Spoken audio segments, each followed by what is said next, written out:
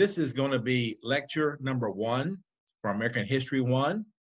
Uh, the title of the lecture is When Worlds Collide, North America versus European Culture. I want to go through and discuss the two different areas of the world that are going to merge together after 1492. Neither side knew the other existed until 1492. And so it's best to separate them and discuss each culture differently and then bring them together as one group here. And uh, you're going to see a major change take place uh, when all these countries uh, merge together and form what would become the United States. I want to start off this discussion by discussing actual the culture, the term culture, and what it means. The culture begins with the family.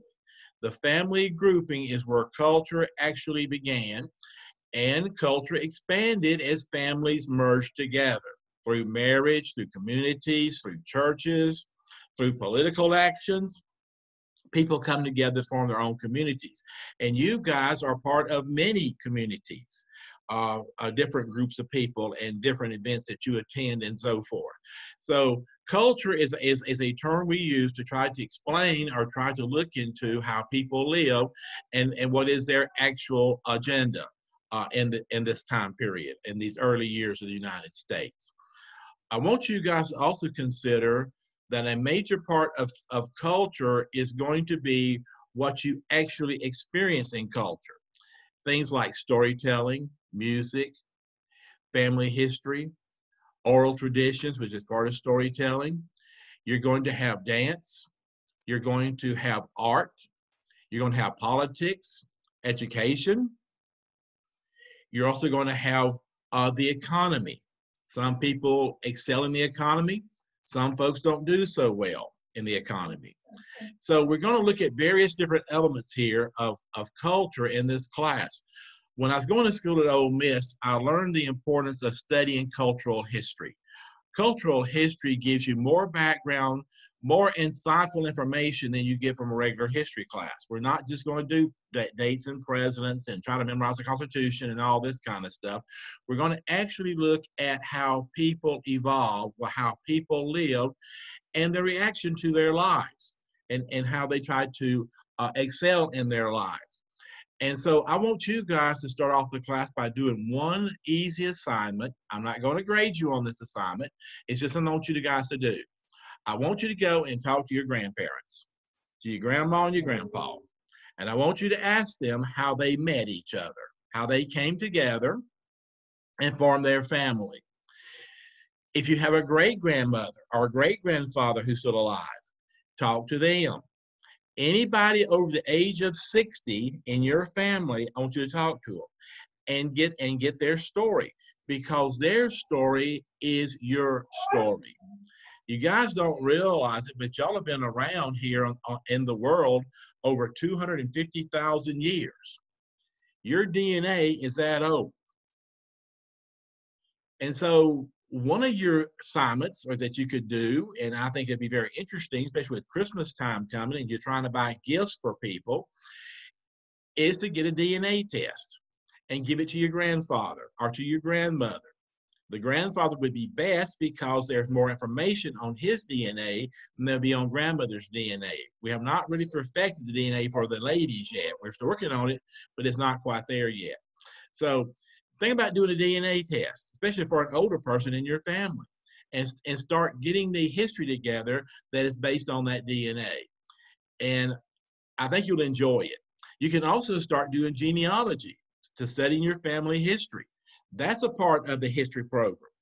And that gives you all kinds of details about your family, where they live, what they did for a living. And starting in 1850, the federal census tells you about everybody in the family their age when they were born, occupation, they go into school or not. There's a lot of interesting information in the 1850 federal census. So what you need to do is work backwards. The most recent census is the 1940 census. So you need to know who your great grandparents were. And then find out where they lived and go to the 1940 census. And you can follow it backward to the 1930 census, the 1920 census, the 1910 census, the 1900 census, and on back to the 18, 1880 census. Don't worry about the 1890, it's not there. They lost that one. On back to 1850. And that gives you over 150 years of family history and or, or more. And so you'll have a lot to work with here, guys, and a lot of, a lot of fun trying to figure all this stuff out. And family history is a very important part of your life. And I would definitely do it. You're probably going to be lucky and you're going to find an aunt or an uncle or a family relative who's already done or who's already written down a family history. And most people who did all this stuff usually had it put into a notebook. And you probably get a copy of the notebook that they put together. Some people published a book on their family history. But I think you'll have a, a, a, good time doing all this stuff. If you need any help starting off your family history, just come see me before class or call me or text me, and I will be able to help you get started. And it's all going to be free because there's all kinds of websites that gives you information that are free. So don't pay for anything, guys. Uh, try to find the free stuff because it's out there. Okay? All right. So, guys, cultural history is what we're going to do in this class. We're going to look at how people evolve through their cultural experiences. And I want to start off by discussing the people who come to North America. I want you to realize that we had three great ice ages that took place on Earth. We're not sure if meteors caused the ice ages. It could have been done by volcanoes. There's various ways to have ice ages, have the Earth cool down. People today are concerned about global warming, we have three or four big earthquakes out in Java, like we had in 1816, and global warming is a history. It's gone because the Earth's going to cool down because of volcanoes. And this is what happened here, guys, some 40,000 years ago. We had this great ice age appear. Human beings all began their lives, began their existence in East Africa. We all have our roots back toward Eastern Africa. This is Ethiopia, part of the world. Okay? During the Great Ice Age, or before the Great Ice Age, people started migrating. They started going northward. They went from West Africa, or East Africa rather, into what is now the Middle East. A lot of them went toward Lebanon. They went on up toward Kazakhstan. This is up here on the uh, this is up on the Black Sea area. It's also in the Caspian Sea area. This is where the history of the Great Flood took place. The Great Flood affected everybody because we're in, we're in one place up here, or there's a large number of us in one place up here during that time period. So that's why everybody has a flood story in their in their history. From Kazakhstan is where the Ice Age began for us, for humans. And we realize we've got to feed ourselves. Food is the most important commodity that people have to deal with. You've got to have food to feed the people.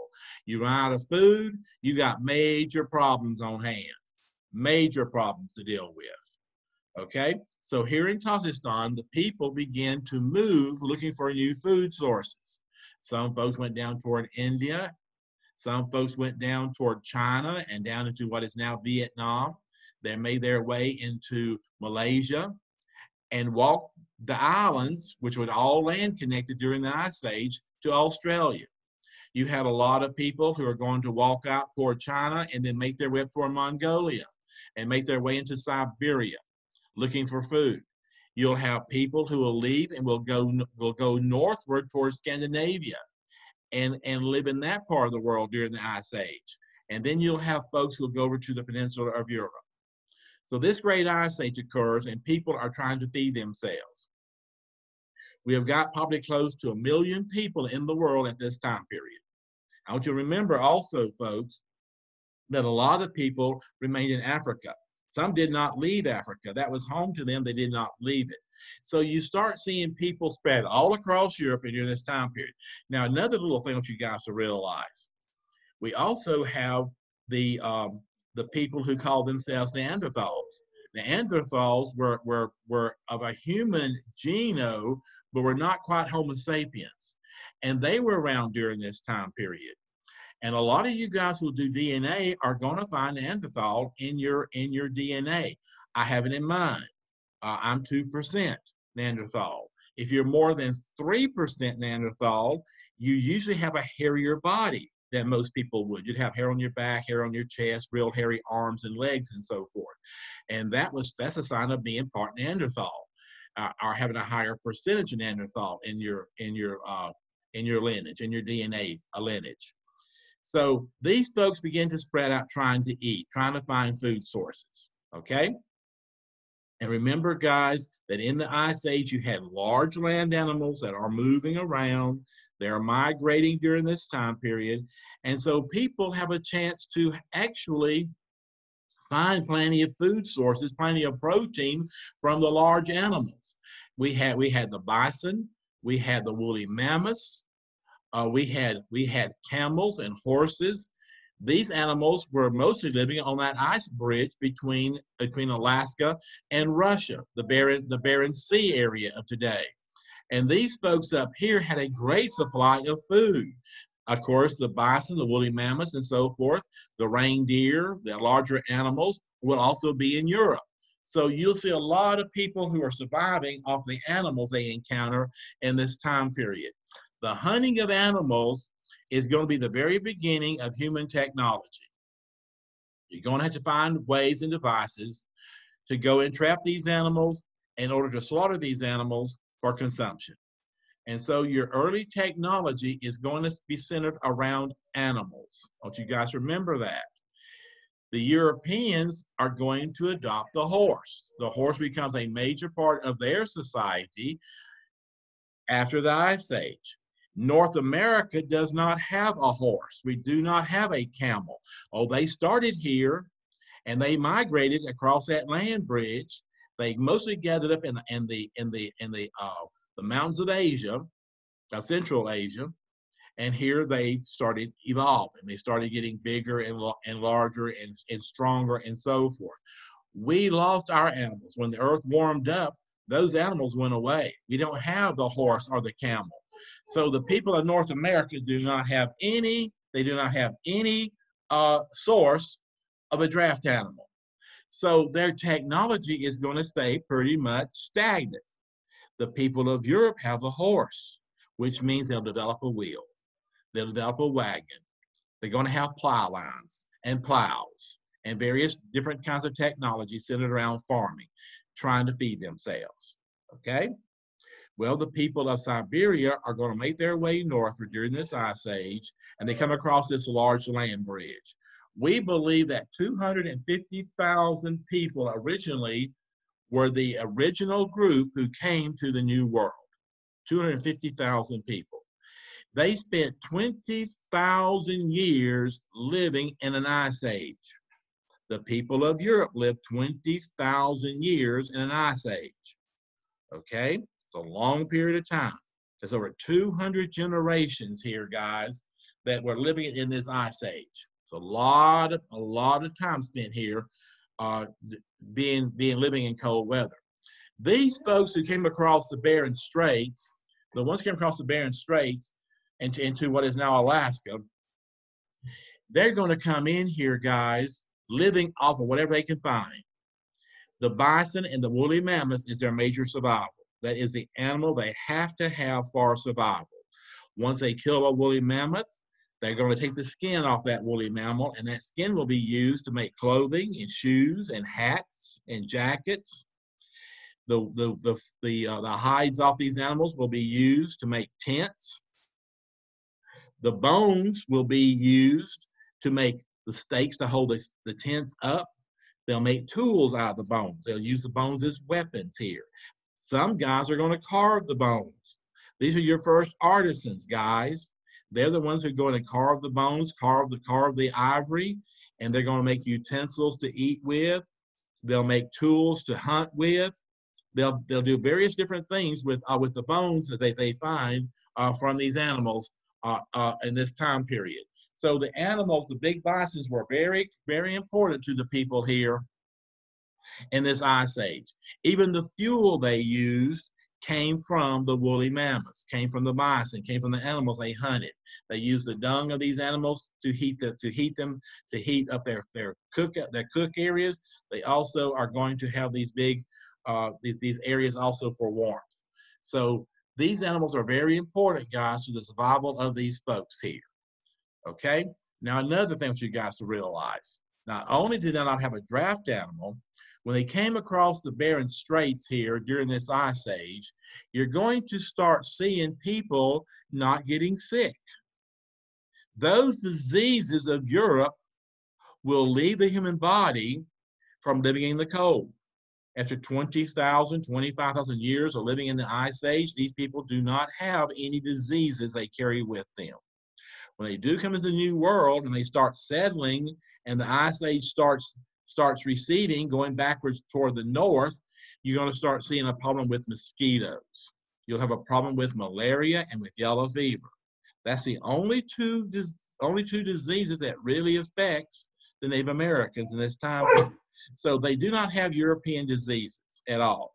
Okay, these folks are are totally immune to anything out of Europe, which is going to be a major problem when Columbus and those Europeans, those Spaniards, show up in Mesoamerica.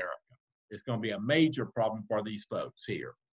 Okay, so you kind of see what's going on here with these folks here. They live over 25,000 years, in some cases during the Ice Age.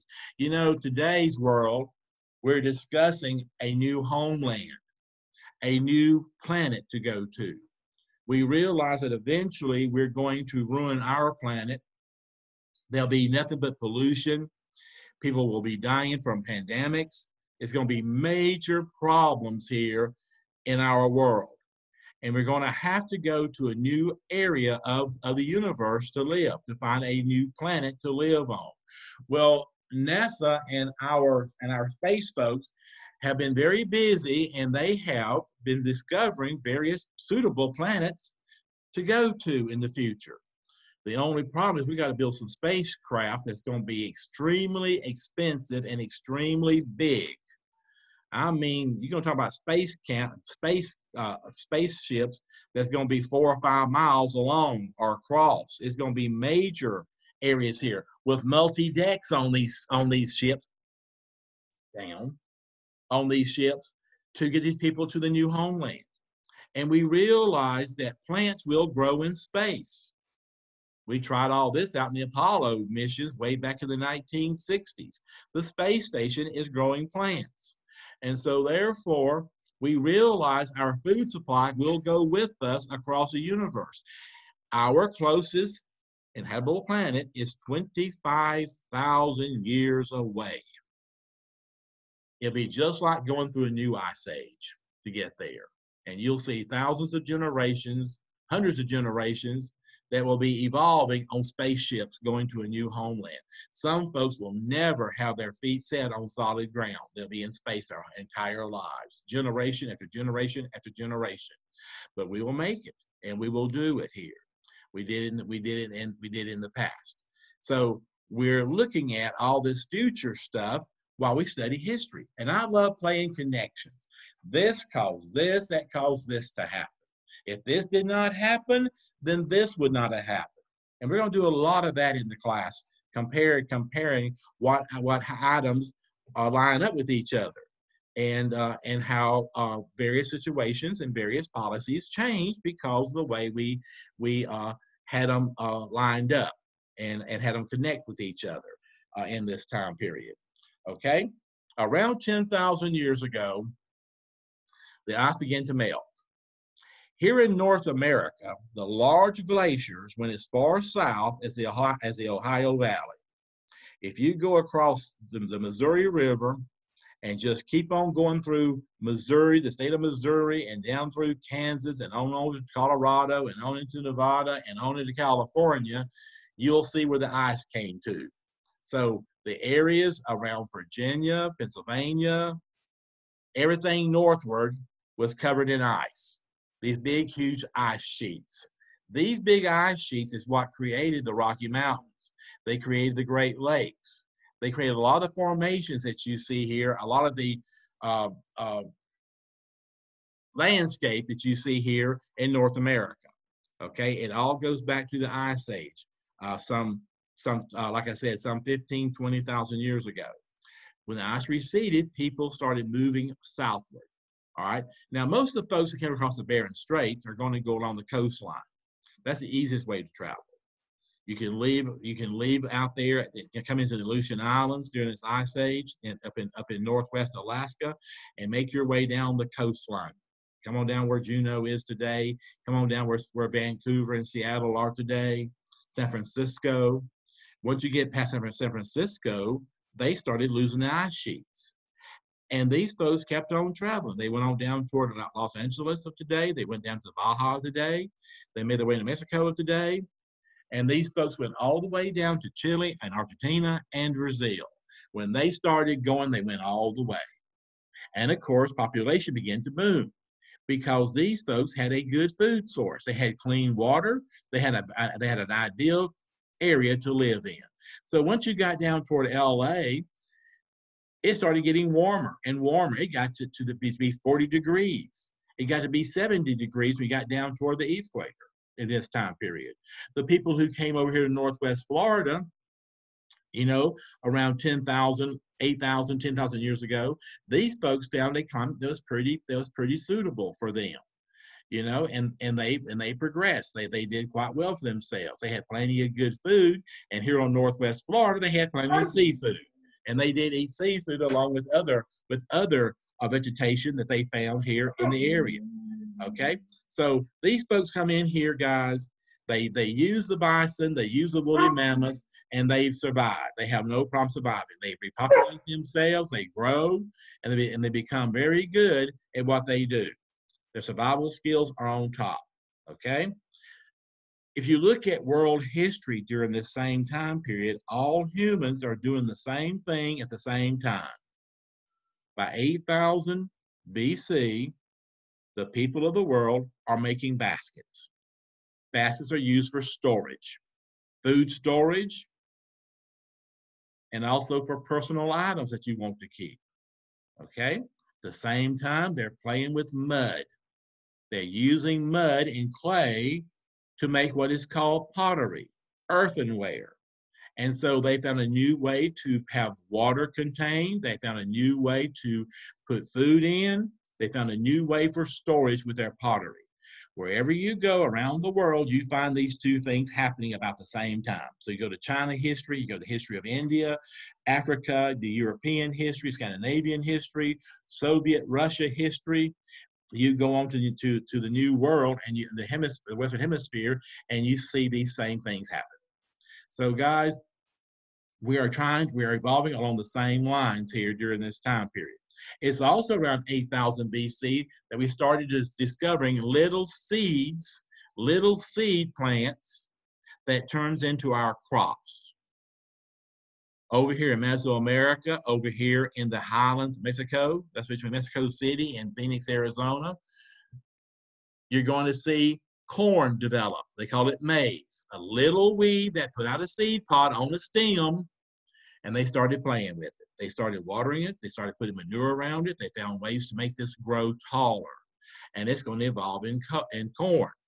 Down in uh, Peru, down in South America, on the western side of South America, in Peru, the Inca people are going to start playing with a crop that grows underground. This crop is called the potato. So you start seeing these folks playing around with these grains. Over in the Middle East, on the Tigris and Euphrates rivers, you're going to start seeing humans that are going to start developing wheat and rye and flax and various other grains over in that region. Over in China, they're developing what is called rice, sugarcane. So people around the world are starting to work with agricultural pursuits around 8000 BC. Okay? By 2000 BC, these crops are scattering across the landscape. All over Southeast Asia, you're going to see rice and you're going to see sugarcane. All over Europe, you're going to see corn. I mean, you're going to see wheat. You're going to see barley. You're going to see uh, flax.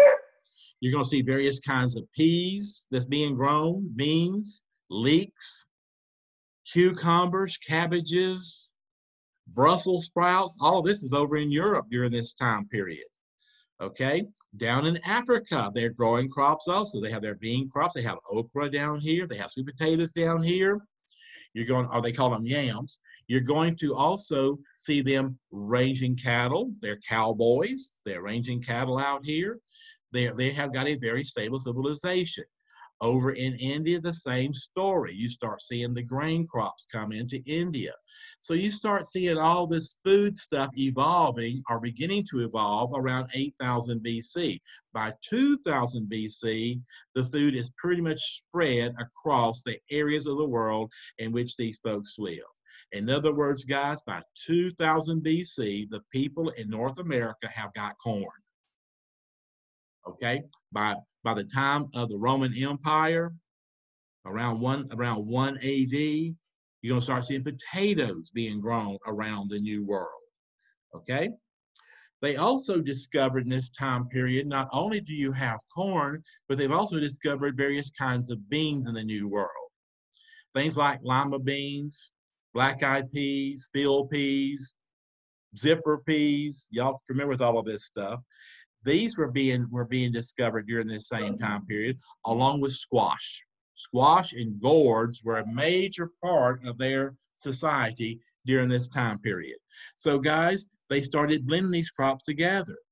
The Native Americans realized if you plant your corn, your beans, and your squash together, that they grow better, they have better nutrients, but most importantly, the squash plant keeps the water level in the ground that supports the corn and the beans. So the shaded leaves of the squash is going to help out with the irrigation, the watering of your crop. The beans produce special fertilizers, special nutrients that help feed the squash. And the beans and the squash together put out nutrients that help support the corn. So beans, corn, and squash become the three sisters, the three sister crops of the New World and these folks start heavily working on growing these foods. Okay? So, what I'm telling you here, guys, is this when the people first came to the New World, they're going to be heavily involved in trying to find food. They go from place to place trying to find food here in this time period. All right? So, guys, this food supply means they got to wander around the woods to find food sources. We call these folks hunters and gatherers. A hundred people have got to walk a hundred square miles to feed themselves. So take the people here at Santa Rosa Beach, the Santa Rosa people of this time period. They had to walk all the way up to Alabama from the beach and then walk out toward Laurel Hill, walk out toward Andalusia, maybe go as far as Atmore, Alabama, and then come southward again to feed themselves. They were always wandering. Their villages were portable. They did not have settlements yet. They're hunters and gatherers. They're trying to find food sources. If you had to go out today and try to find food in the woods, what would you find? Well, here in Northwest Florida, in the early summer, you will find blackberries and you will find blueberries. And by August, you find these muscadine grapes that grow along the streams here in Northwest Florida. And you'll find food sources. And of course, you always got fish. You always got seafood. You got shrimp and oysters and all this good stuff. You got fish. There's plenty of food here for the people who are wanderers and gatherers. My question to you guys are y'all still wanderers and gatherers? Do you go from place to place trying to find your food? Yes, you do. What do y'all do at Walmart? What do you do at Winn-Dixie or at Publix? You're hunting and gathering, and you have baskets just like these folks had to carry your stuff in. Of course, your baskets are made out of metal and they have wheels on them. It's more convenient than carrying one in your hand. All right. And you go down to the grocery store and you try to find things you want to eat. And don't go there if you're hungry. You're going to overgather and overhunt. You're going to be in trouble. Okay. So, guys, hunters and gatherers, we're still doing it. We're still trying to, to find food sources. We're still trying to improve our diets, trying to find something new to eat. Y'all ever get bored with food? Good Lord, I get so bored of the same old thing over and over again and having the same few restaurants here in Valparaiso and Niceville to choose from. And you just get kind of tired of it. And you want to change. You know, you want to get go and find something different to eat. These folks are the same way. So they look forward to the different seasons when various nut trees and fruit and uh, fruit trees and berry bushes and so forth start producing. And they look forward to it. They knew when the time of the year it's going to be to go find all that good food. Now, want you guys to know, realize one thing. The Native Americans do not have very many fruit trees. Fruit trees came to Europe, came from Europe. The pear, the peach, the apple, the fig, the olives, all this came from Europe. So it won't be until until the mid 1500s where you'll start seeing ample supplies of various fruits here in this time period. And most of it will be in the Caribbean where the Spanish are. It won't be anything up in North America for a long time. All right, it won't be until the DeSoto comes through that you're going to start seeing new, new items show up on the table. But uh, the Caribbean is where they're going to produce all this new fruit. So the island of Cuba, the Bahamas, Jamaica, uh, uh, uh, Puerto Rico, into the Yucatan Peninsula, into, into Mesoamerica, where the Aztecs live, you'll start seeing fruit trees there first, and then they'll expand from there. And matter of fact, guys, well, you'll know this, that eventually all these seeds of the New World are going to end up in large markets. And you'll start seeing people bring seeds from the large markets back to the local area. Give you an example, the Santa Rosa people they built large canoes and made their way up the river systems up into Ohio, up into Indiana, Illinois today. And across the river from St. Louis, the president of St. Louis, Missouri, was a big, a big, huge civilization called Cahokia. Cahokia had close to 150,000 people who lived at Cahokia. And these folks from the Gulf Coast would bring salt and seashells and various materials up to Cahokia and trade them for mica and flint and for seeds. And they'd bring the seeds back down here, and the, and the person you bought the seeds from could tell you how to grow it. And so they brought the seeds back down here with them, and they started growing their big farms. Okay, they started they started they started using the seeds here for agricultural purposes. So the evolution of foodways is very important in American history. I could do a whole history class on foodways. That's how important food is to these folks during this time period and even into our day and the blending of foods and food, and it's still going. Well, y'all hush. All right. So, guys, you're going to start seeing all this evolution take place as these folks begin to settle down. Around 4000 BC, we start having our present day climate. We're going to have large thunderstorms, we'll have tornadoes, you're also going to see hurricanes come through. And so you're going to start seeing the actual environment change around 4000 BC. And of course, that will expand farming. It's going to get warmer in various places, and people can grow crops further north than they could at, uh, at any other place. Okay? So, guys, the evolution here takes place with foodways and people settling down. You know, they were pretty ingenious people. They learned how to build houses and their houses were patterned behind the birds. They watched the birds build all kinds of nests, and they built their house like a nest. And what they would do is go out into an open area, and they draw a big circle, usually about 10 feet up about 10 feet across. And around that circle, they're going to dig a hole. The hole will totally circle, will totally be dug out around that circle and the holes were usually between four and six foot deep. After a hurricane comes through, there's plenty of fallen limbs, there's plenty of fallen logs and other items out there. And they would go and get what we would call fence posts. They'd be about 12 foot long. They'd put about six foot into the ground. Okay, so you had plenty of height on these for, for your for your buildings, and they put the post about two feet apart, maybe, maybe a little bit less. I know when you go through and build decks, you need to have your decking boards about 18 inches apart, apart to make sure your deck will hold up and hold people and not fall through and collapse. So they went through, they put these posts up and they gingerly put the dirt around these posts. And of course, they stomped the ground around the post and they poured water around it to make sure they get set into the ground. Okay? Then they went out and they got branches and limbs and they wove them between those posts. That is your wall. That is your infrastructure for your house. And once that was done, they would go and dig a hole next close by the house, and they would go and pour water in it.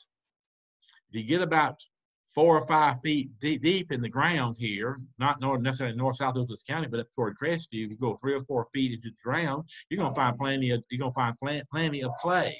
And they pour water on this clay and make mud out of it. This mud became stucco. And they went through and stuccoed these walls around their houses. Inside and outside was totally stuccoed with clay. In the middle of the house, they built a raging fire and they cured the clay the clay would then hold up. Most of these homes would last about 25 years. Once they got the walls put up, then they put the they put limbs across the top, had a slanted roof. They went about 16 feet up in the middle, and they had bracing inside. They had support inside, and usually that's where the fireplace was built under the big hole in the roof. So when it rained, the water would go into the fire pit and not into the actual house. And sometimes they even put barrels, they, they put clay barrels, clay, clay pots under those openings to catch rainwater for drinking water.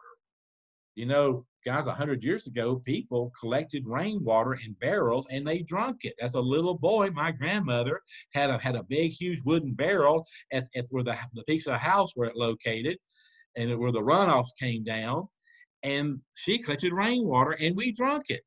And it was good water. I wouldn't do it today. It's probably of going to kill you because there's so much pollutant in the in the air and the clouds. I wouldn't dare drink no rainwater. Okay. But guys, they drank the rainwater in this time period. They collected in these openings here when a rainstorm came through. And of course, that helped keep kept the, the fire pit from getting soaking wet by having the, by having big, having large part having large pots put in here to catch the rainwater. Once they put the poles up to build the roof, they went out here in the woods and they collected one of these these old palmetto limbs. They look like fans, and they and they attached them upside down. So they're so the fans are coming down for the bottom of the house, and of course that ran off the rainwater. And these houses were tight little nice houses they built here, mainly in, in South Alabama and Georgia and the Carolinas, Mississippi, Arkansas, here along Northwest Florida. They built these same kind of homes and they enjoyed living here. In the summertime, when it got too hot to be inside, and y'all know how that is, if you ever lived in a non air conditioned world, you know, guys, air conditioning in houses is only about 50, about 55 years old. Uh, we didn't have air conditioning in the 1960s. My parents bought our first air conditioner, a window unit, in 1968. And we had to open all the windows up. And we had fans to try to get the hot air out of the house. So you stayed wet all the time. The only time you got dried off is you went to the beach and came back home, or you went down to the creek and came back home. Creek water would keep you cool for about for about four or five hours. So in the late afternoons, going to the creek was an important thing to do to get cooled off. These folks did the same thing. They understand the importance of going into a creek and swimming and having a good time. They bathed. They were clean people. They were not dirty people. Those Europeans only bathed once a month, maybe three times a month at the most. They were a stinky bunch. Why do you think diseases cling to the, the people of Europe? They just didn't bathe regularly. And of course, they didn't have the clean water we have here in North America. So it's a whole different attitude here for these people. So guys, they decided to build a deck for the summertime. It's called a chickee house. And what they did was they put up some tall poles, usually about 16 feet tall above the ground. So they're about 20 foot, 24 foot long posts. And they put up four posts, one for each corner. They buried them like they did the logs in their houses, the, the fencing in their housing and they built a deck about eight foot off the ground in the middle of this long logs. They put a roof on it, just like they did on, on their on the other houses, and they had a place to stay eight feet above the ground during summertime. They put a ladder up there. They climbed up there. They ate up there. They slept up there. They put railings around it so the little kids wouldn't fall off. They could be outside all night long and not have to worry about mosquitoes. Mosquitoes don't get that high usually. They also didn't have any problems with with the with the bears, the the black bears that roamed the Florida the Florida Panhandle. They were not concerned about alligators. They were not concerned about the Florida Panthers, and there were lots of those around during this time period. And so they felt safe up here in these these these chickee houses they built off the ground. If you guys go to Google and y'all type in uh, Native American housing and put around put around the maybe 1400 or just type in the Mississippian period. Mississippian period is what the period they lived when Columbus came.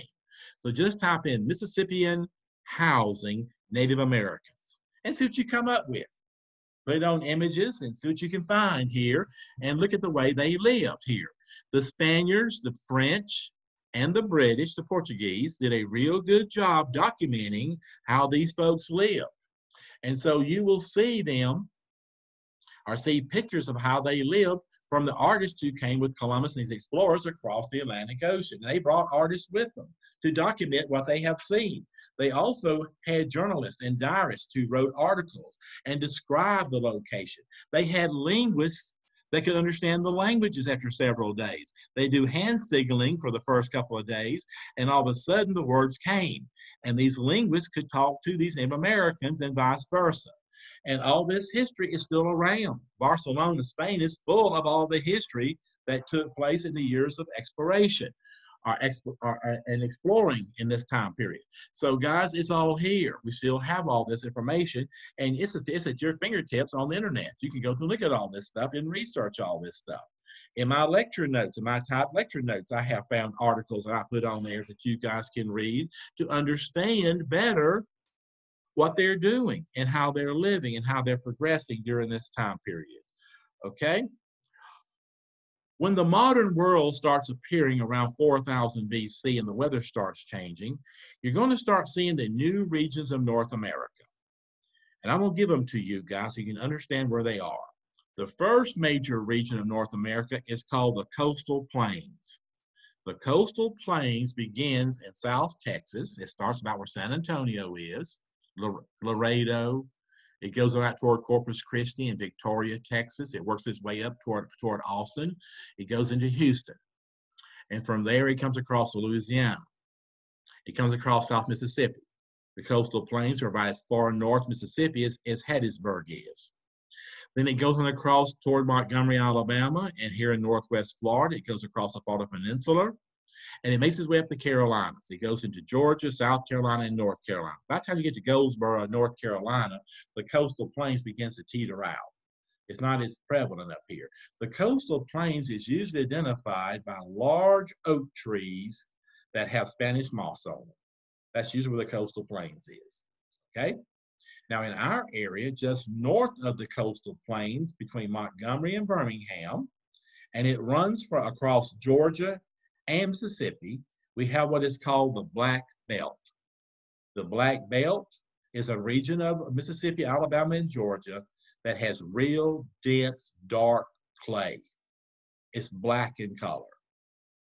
And this clay, this dark clay, becomes a major producer of cotton. Cotton is going to really expand across this region in the Black Belt. In Mississippi, just north of Jackson, that runs up to Memphis, Tennessee, it goes from Interstate 55 back to the Mississippi River system, is an area that's called the Delta. The Delta is an old ancient seabed in which the silt from the river and the and the movement of soil through the air from uh, from Oklahoma and the west have filled it up.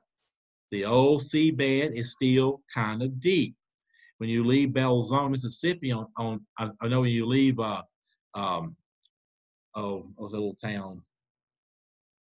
Oh shoot, I forgot little town is that called now. It's outside of Oxford. It's on Interstate 55, heading heading toward Memphis. When you when you come to that little town, Batesville, you come to Batesville and you start heading west toward Clarksdale, you go down a big huge hill. I mean, it's a steep hill, and that's where the delta is. That land is all below sea level and it's been flooded for the last couple of years. Uh, they've had a real problem, the Delta, with flooding. We had a major flood here in 1927, and that major flood played a major role in creating what is called the Great Depression of the time period. And this area here becomes a major producer of cotton. that this land is, has the richest soil this side of Egypt, of the, of the Nile River. And the topsoil here in the, in the delta is about 25 inches deep. The topsoil here in Northwest Florida is like three inches. It's not that much topsoil here. And the better your topsoil is, the better your farming is going to be. And so out here you have what is called the delta. Okay, go a little bit toward the west from the delta and you come into an area in Arkansas, Oklahoma, and Missouri that's called the Ozarks. The Ozark Mountains. You guys have not been here. I suggest you go for a visit up here. It's about a 14 hour drive from here up there. And you can fly it. Allegiant flies in there now from Eglin into different locations like Fayetteville and so forth. And this area here is very interesting because you see signs of sea creating mountains. You see signs of volcanoes creating mountains. It's a totally different landscape out here. It's a beautiful part of the world to go to, but you see a lot of different natural uh, events that took place that created the Ozark Mountains, including the ice sheets. So that's part of it. Then you come back eastwardly and you come to what is called the Ohio Valley. The Ohio Valley here is where civilization really boomed here uh, around 2000 BC. You're going to start seeing villages being built up here. You're going to start seeing mound worshippers that live up here in this area. You're going to start seeing a great civilization begin to develop around the Ohio River. And then, of course, you have the Great Lakes, which was formed by the ice sheets rescinding, heading northward again. And then, of course, you have the mountains. You have the Mohawk Mountains, you have the Allegheny Mountains, you have the Appalachian, the Blue Ridge, all this is going to be influenced by this great ice age. Okay? And then just below the mountains on the eastern side, heading down toward Atlanta, heading down toward Lynchburg, Virginia, heading down toward Greensboro and Charlotte, you're going to have what is called the Piedmont. The Piedmont is where your fall lines are for your rivers. When I lived in North Carolina, I loved going out of Charlotte and going up toward Asheville and just kind of going to different places just to see them on the Piedmont. Lake Lure was a beautiful place up here. And the fall of the year, you had lots of pumpkins on the side of the road being sold. I'd go buy pumpkins, make pumpkin pies out of them. You had big, huge apple orchards, and apples were for sale out here. My apartment complex in Charlotte was full of apple trees. They landscaped it with apple trees. And in August and September, you could go out in the in the front yard of your apartment and pick apples and eat apples all day long, and they were free. And we'd make pies and fritters and all kinds of good stuff from what they had up here in North Carolina. So the Piedmont area is a real interesting agricultural area, but it's also where Southern industry is going to begin. It's where industry up north begins because they use water power. And the Piedmont usually is where your waterfalls are located. Okay?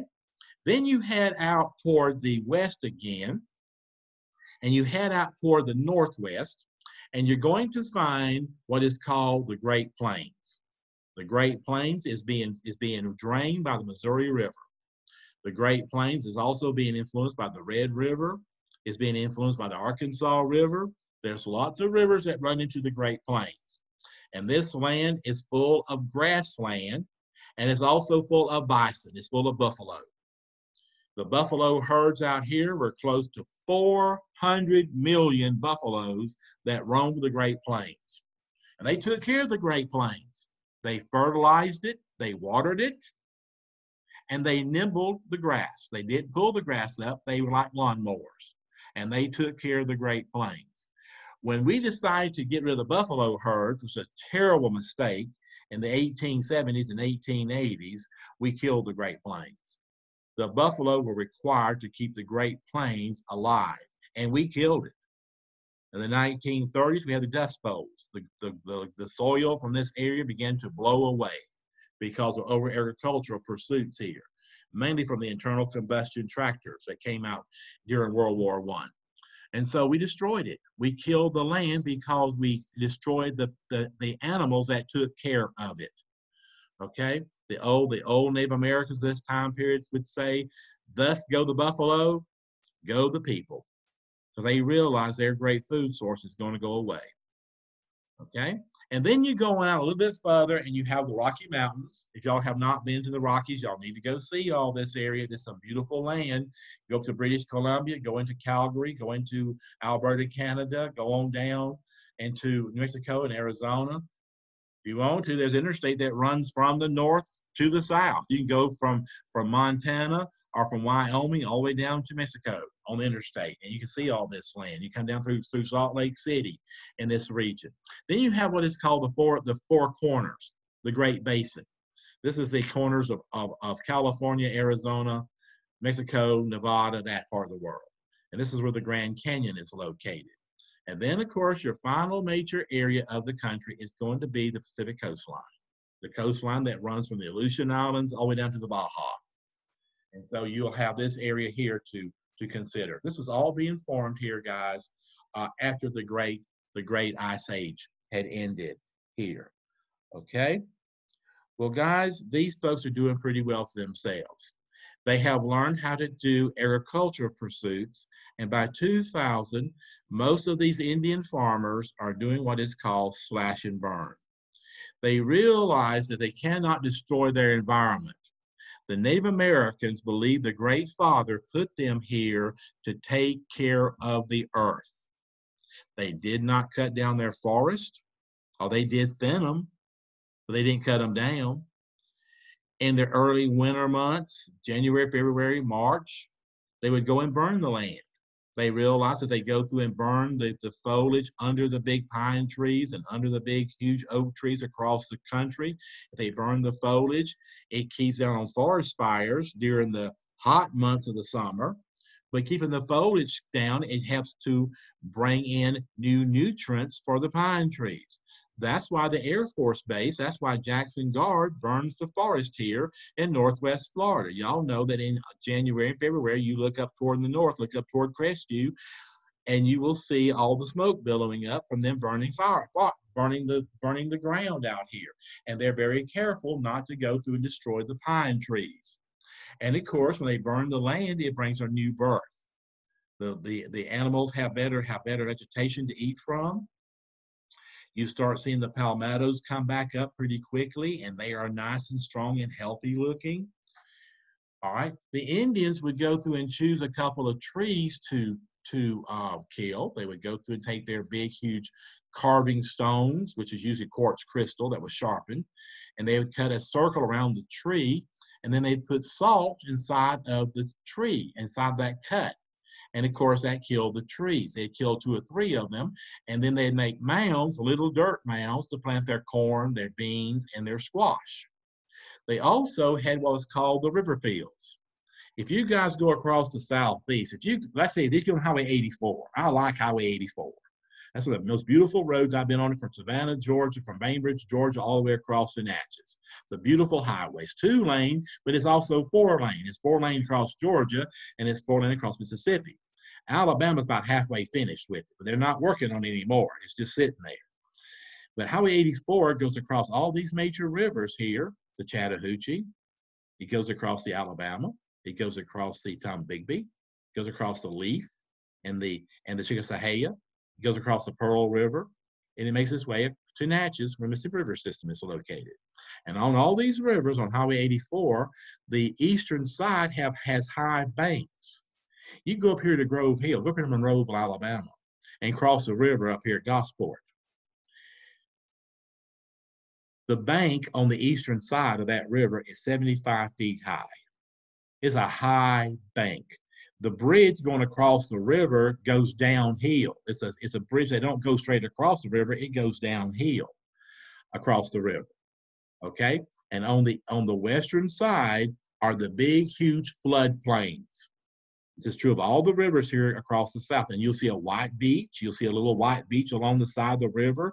And then you'll have the swampy area, the, the overflow area. Okay? The Native Americans call this the river fields. My grandpa Causey, as a little boy, used to talk about the river fields. How they'd go to the Homochitto River and along the river plant their crops. And they'd be there at sunrise and plant those crops the wagon from the house would come in to feed them. Yeah, they had a food truck. It's a wagon. It had food on it. They delivered the food to them. They took about an hour to just relax. Sometimes they'd go swimming in the river.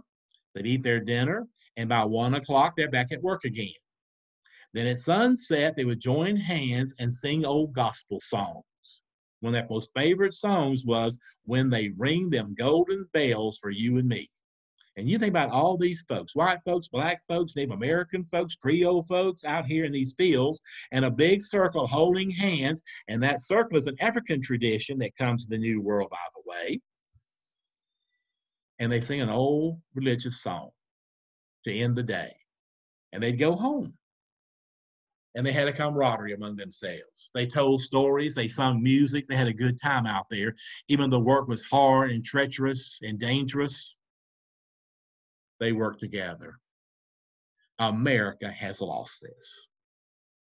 And I hope that through this pandemic and through other problems, that America will rejoin the hands in a circle and sing when they ring them golden bells for you and me. And bring back the way it used to be in America, where people were neighbors and met on the front porches in the evening and told stories. You know, I miss all that stuff. People would bring their banjos and their guitars and and and their horns and whatever to the front porch and have a musical concert in the neighborhood. And they'd cut watermelons and make ice cream and do all kinds of neat things on the front porch. And we've got to get back to that front porch, guys. It's very important. Now I'm rambling. I got to get back on the subject again. But guys, these river fields were very important because the men are the ones who took care of the fields. The men are the ones who prepare the fields for, for cultivation. They went up there and they rode up those fields. They, they used their chopping tools. They used those, those, those hoes made out of stone and they rode up the land in order to plant their crops. And they also used crop rotation. These native folks did. The ones who actually grew the crops, the agricultural people, will be the women the women are the farmers of this time period. You see, the Native Americans lived in what is called a matrilineal society. Women control society. And society stabilized. Society did quite well for itself when women controlled it. Oh, the men would go off hunting and fishing and having a good time. Their main job was make sure everybody was safe, they had good housing, and the fields were prepared for crops and they had their side of life to do, and the ladies were the agricultural side. And they took care of the household, they took care of the home, the children, and so forth. By the way, these Native American women would usually get married around age 17. By age 18 or 19, the first baby came. And these young ladies were usually pregnant every 24 months. Some of these ladies had as many as 14 to 20 babies in their lifetime. When the Europeans come over to the New World and they start settling, the average family in the, in the 1790 federal census, the average family had eight children. That's the average family had eight children. So you see a lot of you see a lot of childbirth. If you have a baby, you have the baby out in the fields. You're out there working in the fields, and that baby comes and you'd have that baby and the older adults the ones who could not work were your child care keepers.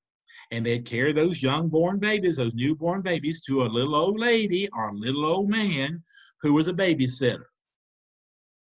Now if you got four or five or six or 20 little kids under the age of five years old and they're hyper as hell they're crazy. They're just little crazy people running around doing they want to. I remember my crazy days of being a little kid, having a good time and and doing all kinds of crazy stuff you get hurt doing, and mama trying to stop you from doing crazy stuff. Well, in order to keep the kids in line, they dug a hole in the field. On the outside edge of the field, they dug a hole. The hole might be 10 feet across and about four foot deep. And they put the kids in the hole. That's your playpen during the time period. So the kids couldn't climb out of that hole because it's too it was too deep. And that's where you put the little kids to keep them from running off and drowning in the in the in the river or getting hit by a snake or whatever. You put them in that hole in the ground. Now, how'd you guys like be putting a hole in the ground? You're three years old. All right, you probably you probably get mad as all get out because they, they rounded you up and put you in that dang hole. All right, but that's how I took care of the children in this time period. Your adults were your daycare keepers. How many of you guys stayed with grandma and grandpa until you started school? Mom and dad worked, they couldn't afford daycare. The grandparents were handy. And if you was lucky, you had your mama's parents and you had your daddy parents in the same town. And so you switch off. Give each other a break here on the on the daycare business. All right. So you see all this happening even in these people's lives. So what I'm telling you guys is these Native Americans look just like us. They look just like us.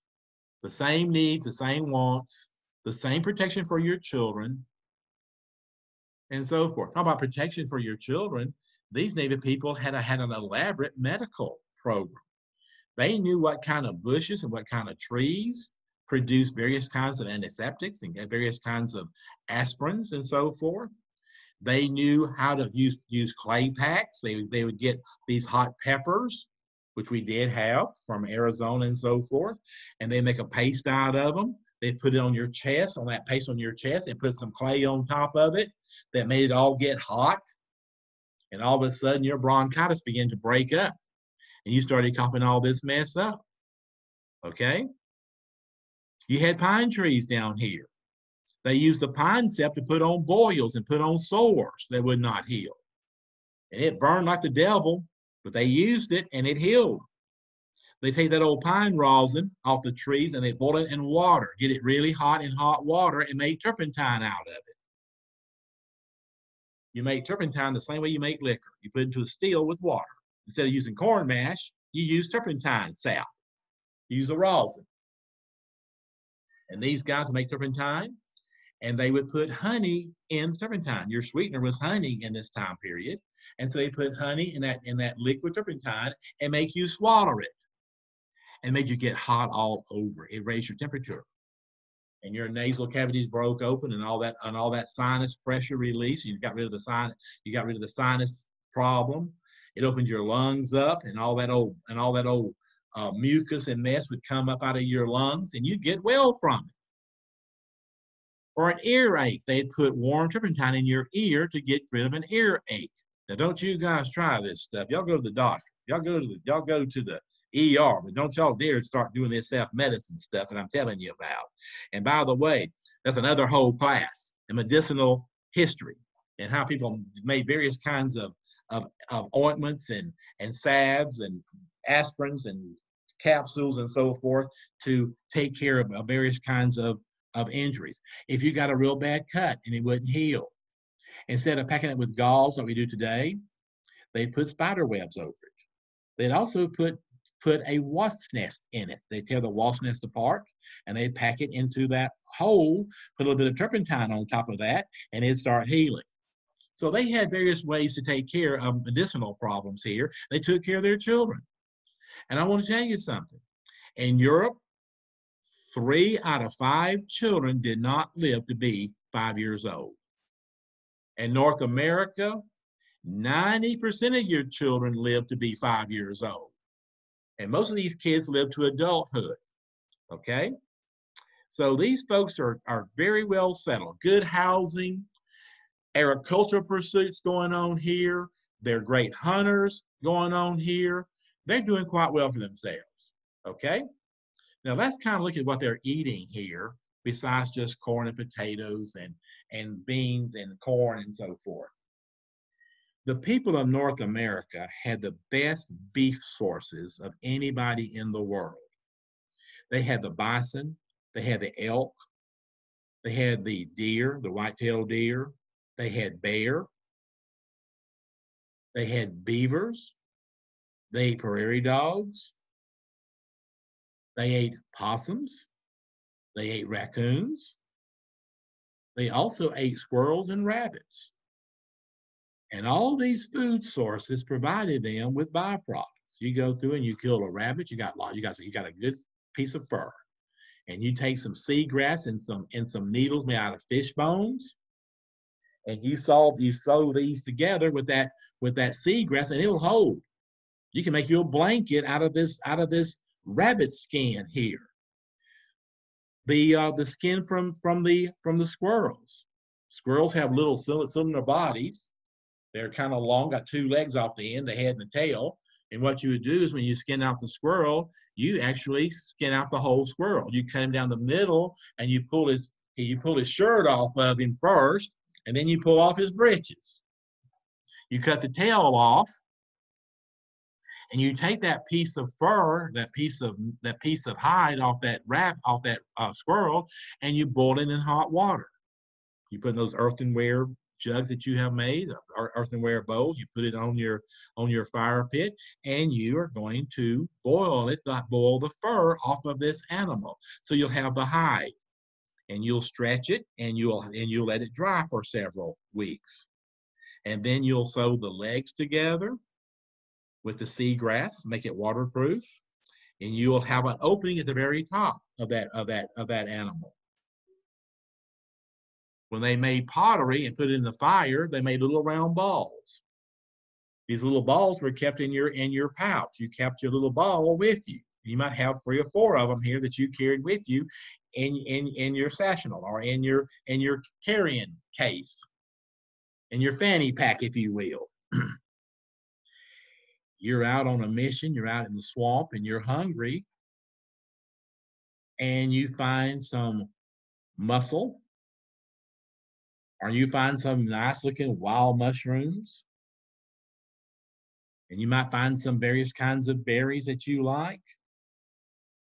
And all you guys get together and y'all get yourselves about a, a bunch of that stuff all gathered up and you put inside that pouch. Then you build a fire. And in that fire, you put those little round ceramic balls. And they get real hot pretty quickly. And you get you a couple of sticks and you pick them up like chopsticks and you drop it inside of that pouch. You hold the top closed and the contents, being shrimp or oysters or mussel or whatever, will cook in that pouch. If you're in the woods, you find yourself a bay tree and put a bay leaf in there.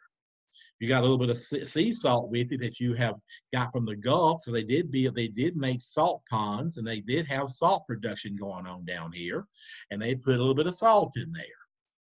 They let it cook for about maybe five or six minutes, and then they'd reach in there and push that ball out. Let it fall on the ground so it cool off. You don't want to touch, you don't want to hold it if it's real hot. That hold the pouch open for a few minutes for everything inside to kind of cool down. They turned it up and they drank it instant nourishment. I'm telling you here, guys, that these folks produce the first Hot Pockets. That makes, makes pretty good sense here. They didn't, they didn't need a microwave up and they had, they had that little round ball that could get hot and they could cook food with it. And you could lay out fillets of fish on, on, on, on, a, on, a, on a piece of log and put those little balls along that fish and cook it that way. So they had a good way of, of having a portable grill with them all the time and they love to grill their food. They love to cook their food over an open fire. So if it be bison or elk or buffalo, whatever it might be, they could barbecue it and they would cut it into slices. They use they use those quartz crystal cutting tools they had. If you guys go to the Facebook page for American History One, just type in NWFSC and spell out American History One. You'll go to my Facebook page, and I've got a collection of tools that I found in the museum in Natchez, the museum at Vicksburg.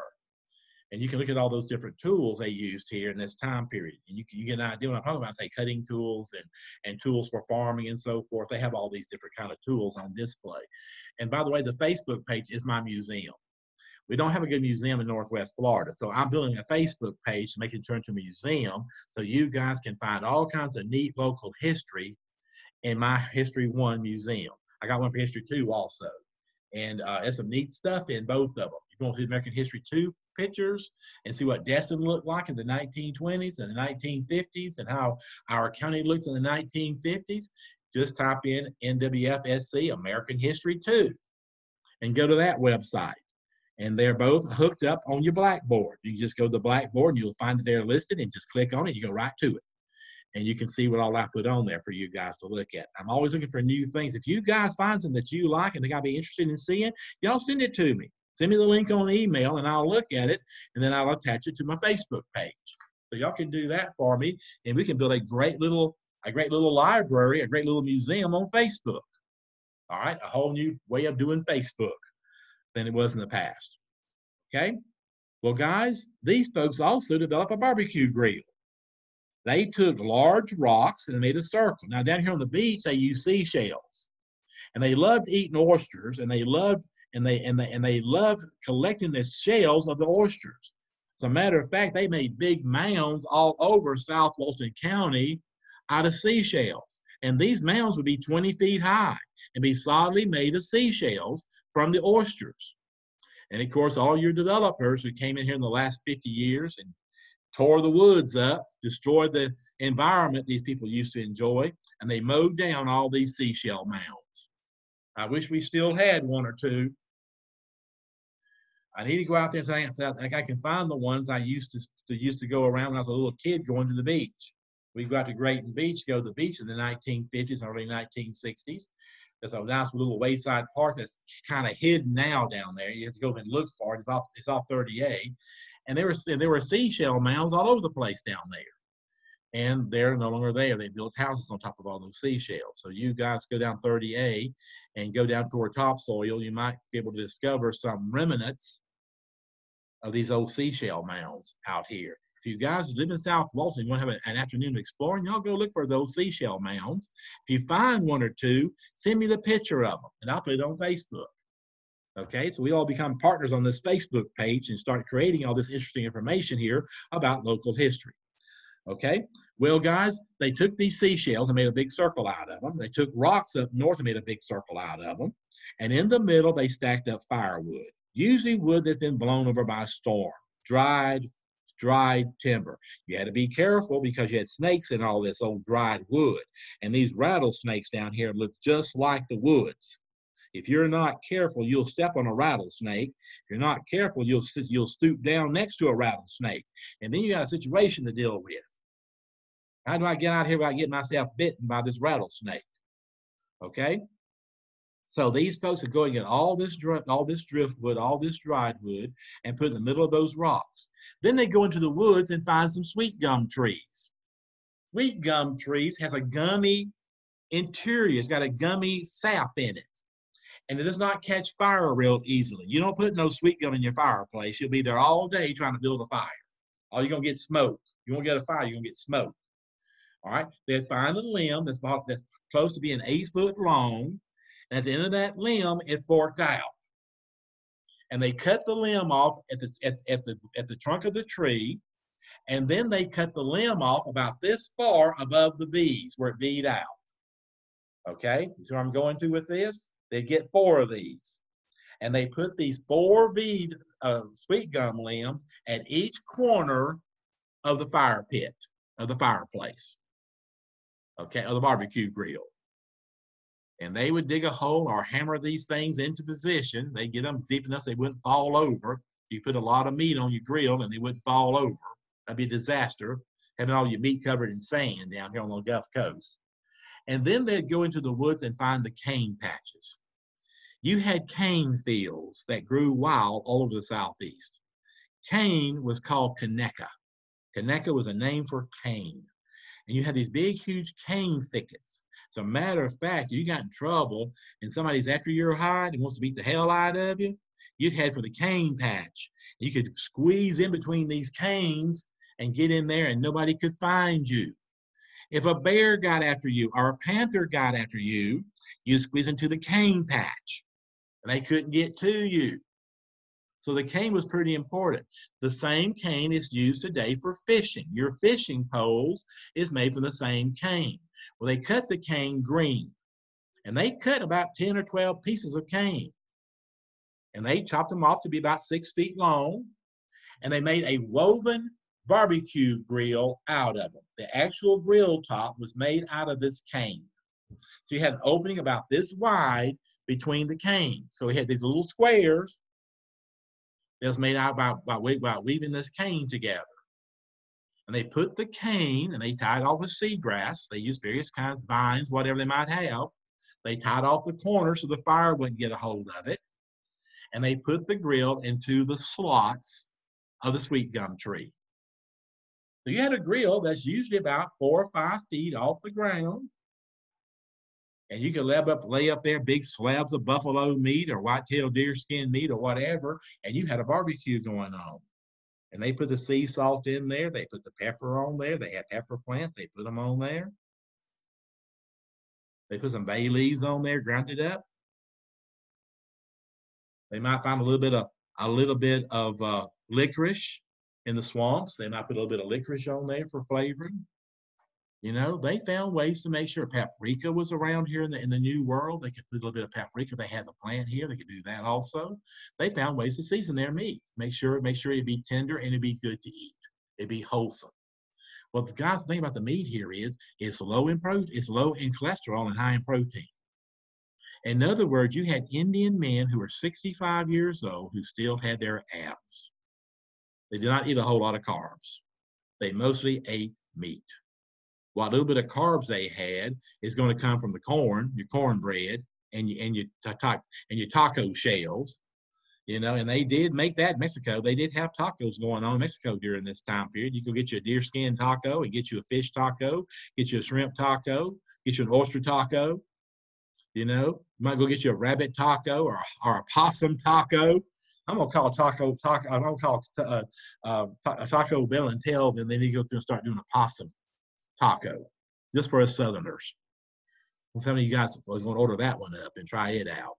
Okay, but guys, they had a good diet. They had a real good diet. And then, of course, they had all this fish. They ate lots and lots of fish. Okay, and shrimp and oysters. Up in the Great Plains, and up in Ohio, they made fish traps in their creeks. They'd take rocks and make a V out of them. The walls would be about three feet high. The fish would swim into it because they're the fish, the, the V's were made to go into the running water that's heading toward the V. The fish swims in, it cannot get out. These Indian folks would go out with their, their with that big, huge uh, uh, oak split wood baskets and gather up this fish. Just grapple it out of that opening. And they'd go and knock the scales off of it. They would salt and pepper it. They'd take care of it real good. They put some bay leaves inside of it. They put it on their barbecue grill and they grilled it. So they went out pheasants. They, they would make nets out of seagrass to catch birds. It had various kinds of, of, various kinds of arrowheads they were used to kill animals with, and on, on on the end of their bows or end of their arrows. They used bows and arrows here with with with with uh with the uh the the quartz crystal uh points on them, the arrowheads on them, and they killed animals that way. And they killed pheasants. They ate lots of turkey. If you wanted eggs to eat, you found you a turkey nest. You'd go through and find you a quail nest, or you'd go through and find you a pheasant nest, and that's where you got your eggs from. Over in Europe, they had chickens. We didn't have chickens over here. Okay. Over in Europe, they had milk cows. We don't have milk cows over here. They ate beef. We don't eat beef over here. They had hogs in the New World. We don't have hogs here. And the, they have they had uh, had hogs in the Old World. There's no hogs in the New World. We have no hogs. So what we have here, guys, is food that's high in protein and low in cholesterol. The Europeans eating cows and eating sheep and eating goats, and eating hogs, and eating bread and butter and all this stuff, all this high cholesterol stuff, they didn't live past, past, past age 50. A 50 year old was an old person in the European culture. And here in our culture, here in North America, people are living to be 80 years old because of the food sources. Food makes a big difference in your lifestyle, in your health. And these folks had a good supply of all this going on during this time period. Okay, so they're the ones who brought in the barbecue grill. We're going to do the history of barbecue here in a little bit. We discuss who all brought stuff to the table to create barbecue. And it took all three different groups who came to North America to do this. It took the Europeans, it took the Africans, and it took the Native Americans to bring in Southern barbecue. We're going to bring that all together here in a little bit uh, in this in this session of class. Okay, by 2000 BC, these people are growing corn, squash, beans, chili peppers. We had wild onions, we had celery, we had peanuts. We had pineapples, we had tomatoes, we had watermelons, we had tobacco, which was used for medicinal purposes. It was used as a medicine, tobacco was. We had pumpkins, avocados, we had chocolate, we had vanilla. That is going to totally change European food lines in the 1500s when chocolate and vanilla shows up in these kitchens of Paris. They're going to go crazy. I'd like to be in there and they made that first big pot of brownies. You can just imagine how they went crazy over that food from the New World. We had blackberries and blueberries and dewberries and strawberries. We had raspberries. We had pecan trees. We had hickory nut trees. We had walnuts. They even ate acorns. Have you guys tried to eat an old oak acorn? They taste awful. They're the most bitterest mess in the whole world, but they ate them. They put some honey on them and ro- slow roast them and all this kind of stuff. Put some sea salt on them. They're ready to go. I can't even hardly even think about eating it. It's a nasty taste to it.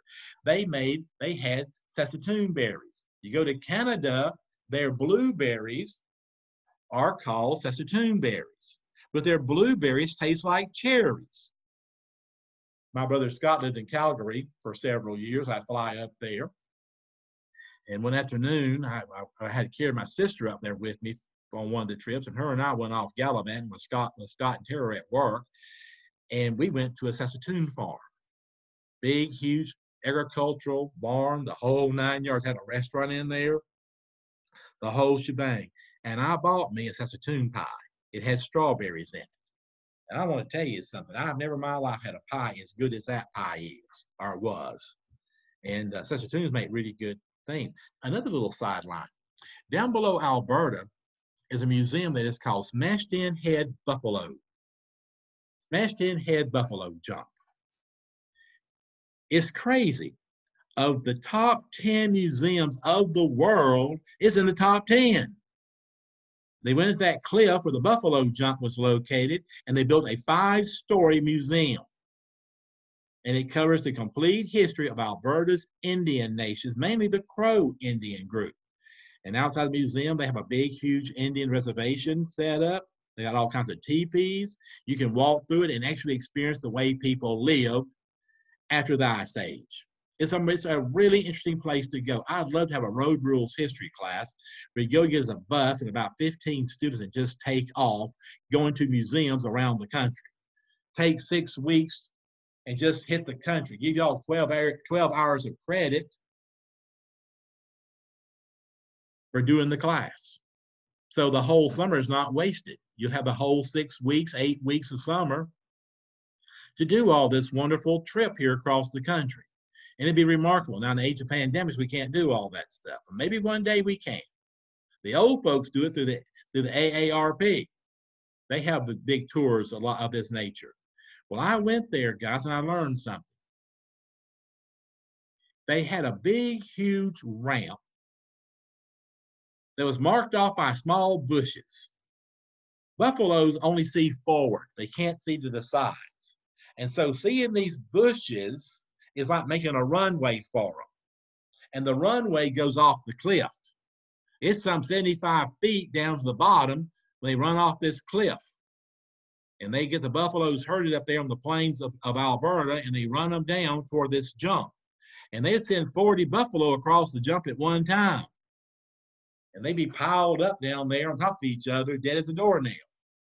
The men folks would go out there and pull the buffalo apart, drag them out here in the Great Plains. Now, remember, guys, in Alberta, Canada, in the middle of July, it gets down to about 55 degrees at night. It gets down to 40 some night up there. So you got refrigeration to a certain extent. Daytime high is usually around 60. I love leaving here in the middle of August and going to Alberta. It'd be 100 degrees down here and be 60 degrees up there and being up there for two weeks, you kind of got cooled off. You didn't want to really come back home because it'd be so hot down here. Well, they run these buffalo off the cliff. They took and took the skins off the buffalo. They cured the skins to make tents and make clothing and so forth out of. And then the women folks took the actual meat. They took the meat of the buffalo, they used their quartz crystal carving stones with it, and they carved off little thin fillets. It's like bacon. It looks like bacon. They hung this meat all over the little trees or little bushes all over the prairie areas of Alberta, Canada. They might have maybe 10 miles squared full of drying buffalo meat.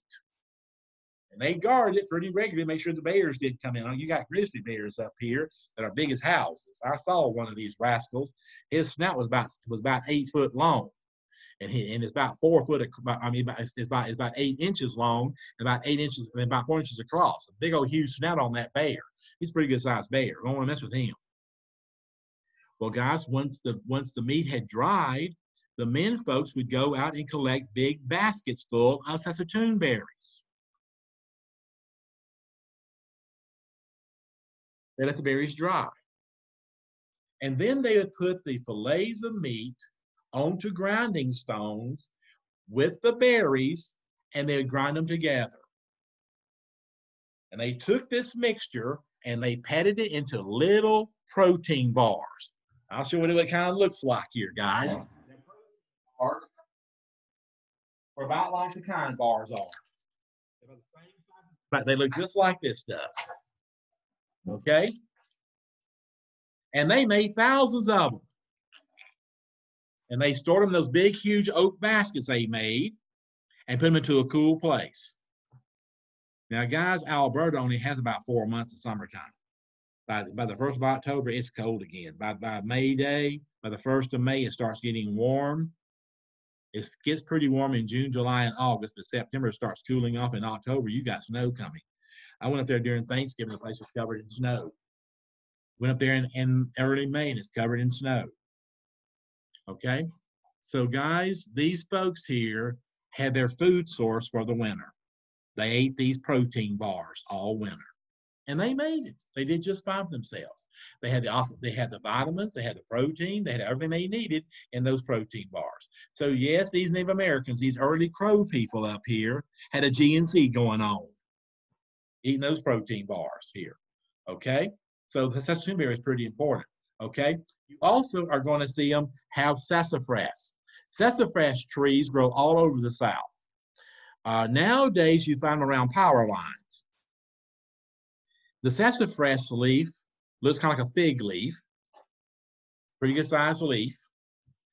If you rub it with your thumb and your forefinger, it smells just like root beer. Early root beer was made from sassafras plants and they'd go and dig up the root of sassafras. You can do this, and it's pretty good. I want you guys to try. If you guys live out around Crestview or out toward the Uniac Springs or out toward Freeport, out in the rural areas, you can find sassafras pretty regular, pretty pretty easily. And y'all go look for it, and y'all rub it. It smells like root beer sassafras. And then you dig the root up. You don't need a very big piece of root, just a little piece of root is all you need.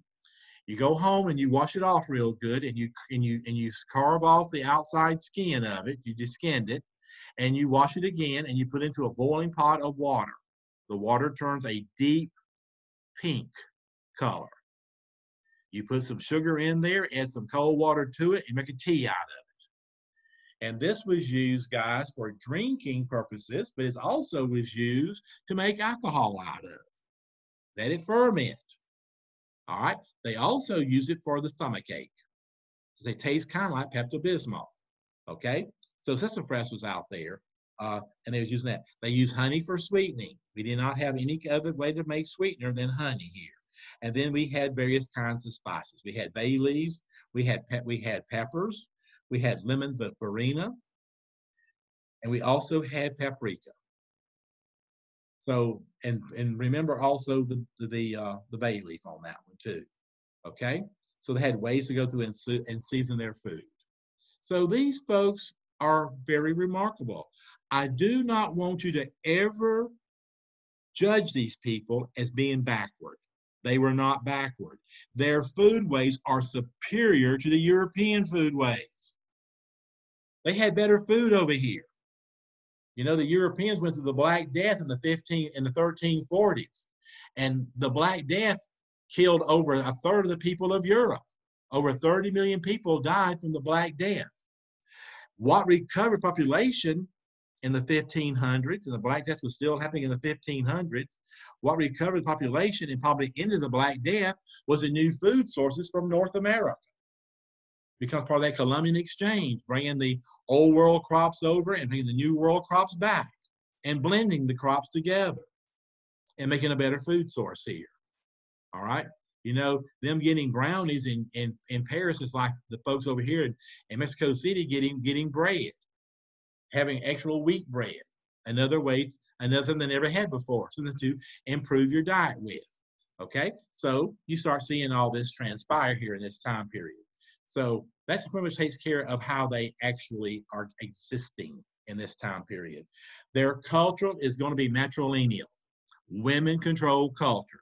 When a young married man marries a young woman, he goes to live with her family. You take the last name of your women folks. It's totally different what Europe does. Europeans are patrilineal. Men control society in Europe. The women are subservient. The women don't have a real place in society because the men control everything. They're greedy over their control. They control the church, the school, the politics, the castles, the farmland, it's all being controlled by the men folks. And the women and children have very little say in the in the scope of things here in this time period. So these women here have a more open and more free society than the Europeans do. Work is divided here among these people. You do have your chiefs and you have your social leaders here in your in your in your tribes, in your in your Indian villages. You have your religious leaders. You even have prophets in this time period. Religious leaders want to make sure that everybody's on board with the agenda of the great white God and they protect the land, that they do not destroy the landscape. You have your workers, you have your farmers, that's your most important bunch. Europeans, Chinese, Southeast Asia, India, Middle East, Africa. Farming was where it was at close to 90% of your people were involved in some kind of agricultural pursuit during this time period. Okay? And that'll be true when America first begins. It's going to still be about 90% that are on the land working the farms in the colonial period. You'll have 10% in the, in, in the countryside. That number does not change until the 1920s. In 1920, we have more people in the rural areas. I'm sorry, more people in the urban areas than in the rural areas. That's 18. That's, that's a 1920 federal census. That's only been 100 years ago. So before that time, we were very much agricultural people. Okay. You also have your metal workers. You have your butchers. You have your hunters. You'll have your you'll have your carpenters. You'll have your tanners who work with leather. Okay. You have your millers who mill the grain, the corn, into cornmeal. You'll have your basket makers, you'll have your pottery makers, you'll have engineers, you'll have construction workers, and you have slavery. But here's the big difference. In Native American slavery, you only use slavery to repopulate your tribe or your village. Let's say a tornado comes through your village and destroys it, and you lose several dozen people you get them buried, and then as a group, you go off hunting for some new kin folks. You go off hunting for slaves. And you might go 100, 125, 130 miles away, and you find a village and you raid it, and you take the people, mainly children, back with you to your village. And for seven years, from five to seven years, I should say, these folks are like slaves. But after five or seven years, you free them and they become part of your population.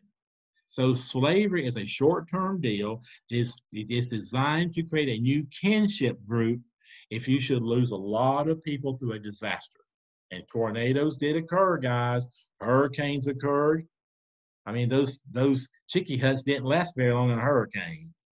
And if you was up there on one of them trying to avoid the flood waters and it all got blown apart, you were in some real trouble. Okay?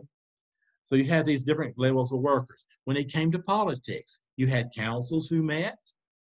Your all your cities have councils. You know, they got a planning committee that meets and they have the city commissioners that meet and they try to draw out plans for the future, how to expand the village, how to go through and improve the infrastructure and so forth. Okay, you had judicial bodies. You had safe cities. If you committed a crime and you wanted to make sure that you did not become a, a major prisoner or slave, you could go to a safe to a safe city and and find refuge there for up to seven years. You could return back home and everything's been forgiven. This there's no problem here. You know, today we have cities of refuge for immigrants. We have we have these we have these refuge centers along the same lines, guys, as this right here was back in the time of the uh, when the Native Americans controlled all this area. They had public works. They built trading paths. They built roads.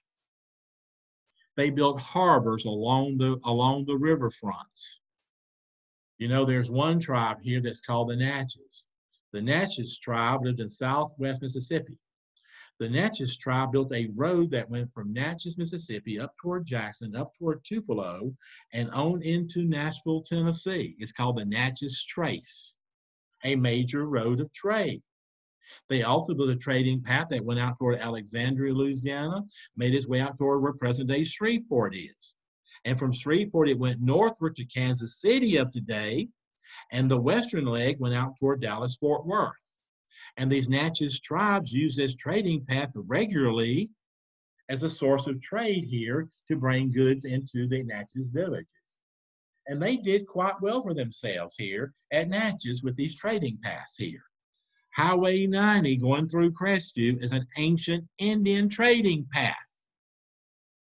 It's going to go from Texas all the way to St. Augustine, Florida. It's an old original Indian trading path. Interstate 75, Interstate 20, Interstate 10, Interstate 70, Interstate 35 in the middle of Texas, Interstate 55 up to Mississippi. These were old Native American trading paths. Our highways today are built on original Indian trading paths. A lot of your little communities and a lot of your large cities were Indian villages during this time period. Stone Mountain, Georgia was a place of worship, and they've had a village out here where Atlanta is. Memphis was called was called Chickasaw Bluff during this time period. And they had a big Indian village out here. So we have built on top of all of these Indian villages and are using their same road systems. Y'all realize that? That's why archaeologists goes into new construction areas, like in downtown Pensacola, where it's full of artifacts from the past, mainly Spanish artifacts. And they survey the land before they build on it, trying to find out what happened on this land hundreds of years ago. Yes, we're going up and digging up trash, trying to figure out how they live in the past. Okay? Then you have the scientists. I want to tell you something the people of Europe during the Dark Ages didn't have any science. During the Dark Ages, they were totally stagnate. They didn't have any very, very little bit, a little bit of learning. Your royal courts and your and your large landowners, your lords and barons might hire a tutor for the children, but other way you were you were educated during this time period. And these folks here were heavily involved in science, especially uh, especially uh, studying the stars, you know, doing astrology type work and they built their cities patterned after constellations and patterned after heavenly bodies in this time period. They had good medicine, as I mentioned a while ago. They had great medical science. Do you know they were doing brain surgery in Tenochtitlan? The Aztecs and the Mayans were actually doing brain surgery. People would have strokes and they'd go in and open up the arteries and release the pressure, and people survived. They did cataract surgery. I had this done several years ago. And the cataract forms a forms a scale over your eye. And your cornea is totally useless. You cannot hardly see. And these folks learned how to remove these cataracts. They used fishbone surgery and they took out the cataract the same way we do it today. They would go and slice the side of the eye, pull out that lens, and resew it. And you regain partially your sight. Now, today you get implants, and uh, with my implants here, I'm seeing I'm seeing uh, a 2015. with my with my implants. And I am been very, very happy with how my eyesight improved after cataract surgery. These folks did it. Little kid had hearing problems and had and had all kinds of fluid on the ears. They took care of this. Clip lips, they took care of this. So these folks were very proficient when it came to surgeries and trying to help people through medical science. And of course, they had all kinds of civil technology. Look at the Mayans. They went through and built pyramids. Which brings us to another topic. Did the Mayans have contact with the people of Egypt? Now, the History Channel will have aliens flying around between both areas. I'm not going to go quite that far in my history class. There could be some truth in that. I'm just not going to dabble in that. That's that's for them to be concerned with. But what I have discovered, guys, is that the Mayan people were seafarers. They built boats. They built outriggers. And you think about it. If you leave Cancun, you leave the you leave Yucatan Peninsula, you're not too far from Cuba. And you go the shoreline of Cuba, and you're going to soon be in Haiti. Then the Dominican Republic. Then it's just a little piece across open water over to over to Puerto Rico. Then from Puerto Rico, you go into what is called the Lesser Antilles. And those islands are all lined up down to Brazil and end up with Trinidad. And you can sail to Brazil easily by following these islands. Or you can go southward along the coastline of Mesoamerica, Latin America, and make your way down toward Colombia and Venezuela and go across the top of South America. You can do that too. Once you get to Brazil and go around the Atlantic Ocean side of Brazil, it's not too far from Africa. You go across that open space, probably about a three or four week voyage across there, and then you're you're on the west coast of Africa. You got people who live here and they tell you what's going on around them. And you sail on up toward Gibraltar and go into the Mediterranean Sea, and all of a sudden you're in Egypt. And we believe that people came back and forth from both sides. Now, why do I tell you this? There's two reasons I tell you this. In the 1920s, when those British and those Belgians and all those folks of Europe went down to Egypt and started robbing all those all those pyramids and bringing stuff back to Europe and bringing back those pyramid, bringing back those those uh, those um, um, oh the people in, embalmed, the mummies, bringing them back up here to to to to look at them and so forth. In those mummies, they found trace cocaine. Cocaine is only produced in one place in the world, and that's Colombia. On the other side, on the American side, the Native Americans believe that somewhere, somewhere around 1519, the early 1500s, a great white God is going to come back to see them. At one time, they had a contact with a great white God, and he promised that one day that he would be back to see them. When Columbus arrives in 1492, the people in the Bahamas and the people in Cuba, his first contact areas, believe that he is the great white God. When Hernan Cortez invades Teotihuacan, land, Mexico City of today, in the Aztecs, Montezuma, the, the, the king of the Aztecs, believes that Hernan Cortez could be the great white God. So this is a this is a folk tale. This is an oral tradition of all the Native Americans across the Americas. That one day a great white God will return to them, and they will have a whole new way of living. Well, destruction is going to be the key term here. It won't be a new way of living. It's going to be total destruction that takes place among these native people. Okay, so we know there's seafarers here in this time period. It's also during this time that the people of the world want to find God the Egyptian built the pyramids. Over the Middle East, you have the history of the Israeli people, the Jewish people. You start seeing the, the rise of Abraham, Isaac, and Jacob. You start seeing the rise of the Christian church, the Jewish religion, the Islamic faith will come out of all of this stuff. Eventually, the Protestant faith comes out of all of this stuff. So, Protestants and Catholics and Muslims and Jews and Palestinians, all of these folks come out from the same roots of Abraham. And then these Bible stories going to Egypt and so forth and being caught in bondage in Egypt and all that kind of stuff. And Moses and his laws are developed. You start seeing all this happening here, guys, in this time period. They're trying to find God.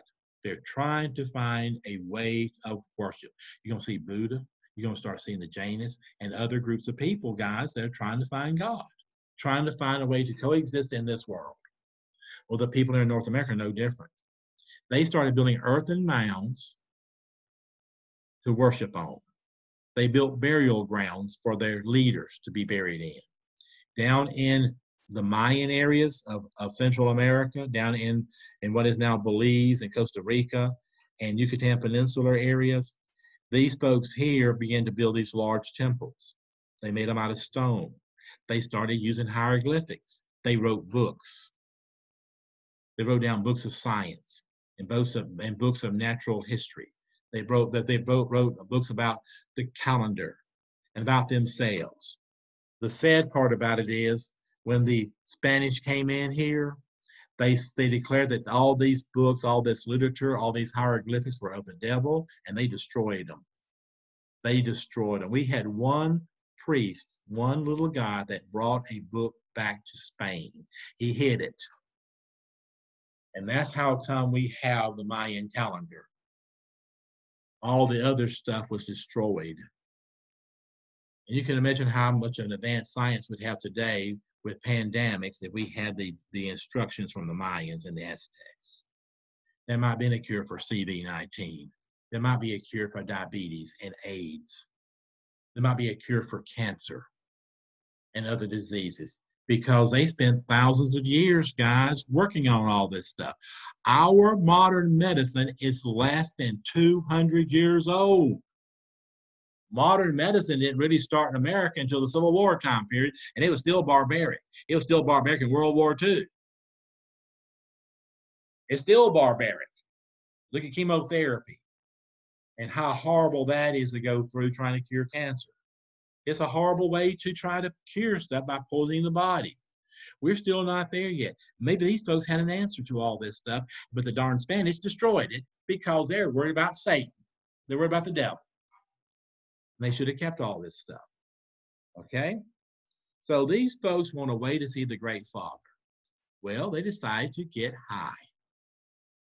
Over in the over in the southwest, they drank cactus juice and all this kind of stuff and got high off of it. They put various kinds of berries in that in their in their drink and they got high off of it. Here in the southeast, we formed what is called the black drink or the dark drink. This drink was made out of yaupon berries. This is those orange berries you see on the side of the road in the fall. They'll be out here shortly. They're, they're green right now. They're going to be turning orange here in the next couple of weeks. First frost, they do get real orange. All right. They took these yaupon berries, they carried them back to the barbecue grills. And on the barbecue grills, they put big, huge, flat bowls, serving bowls, serving trays. And they put the berries on these serving trays. And they roasted them. After they've been roasted and got real dry, they ground them up with their grinding stones and made a powder out of them. It looks just like a packet of cocoa or chocolate, chocolate milk. Packet of your cocoa that you're going to pour in your cup and add the water to it. All right. They poured this into their drinking vessels and they poured hot water in it. They had that little stir sticks and they stirred them all up real good. And then they had a pile of mistletoe. Mistletoe grows on the top of sweet gum trees. Mistletoe produces a berry that is highly toxic. Mistletoe is used during Christmas time as a place to kiss under. And I spent many an afternoon with a shotgun trying to shoot mistletoe out of, a, out of the top of a sweet gum tree to give my grandmama a good, big, huge bundle of mistletoe to hang over her front door. That's where she wanted hung on the porch over the front door. That's a hugging place. That's a place to greet people at. And they took that mistletoe berry and squeezed the juice into that dark drink. And they drank it. About four minutes later, every opening in their body opened up. The whole body got dilated. They started vomiting. They had snot running out of their noses. They peed themselves. And they had terrific, horrendous diarrhea.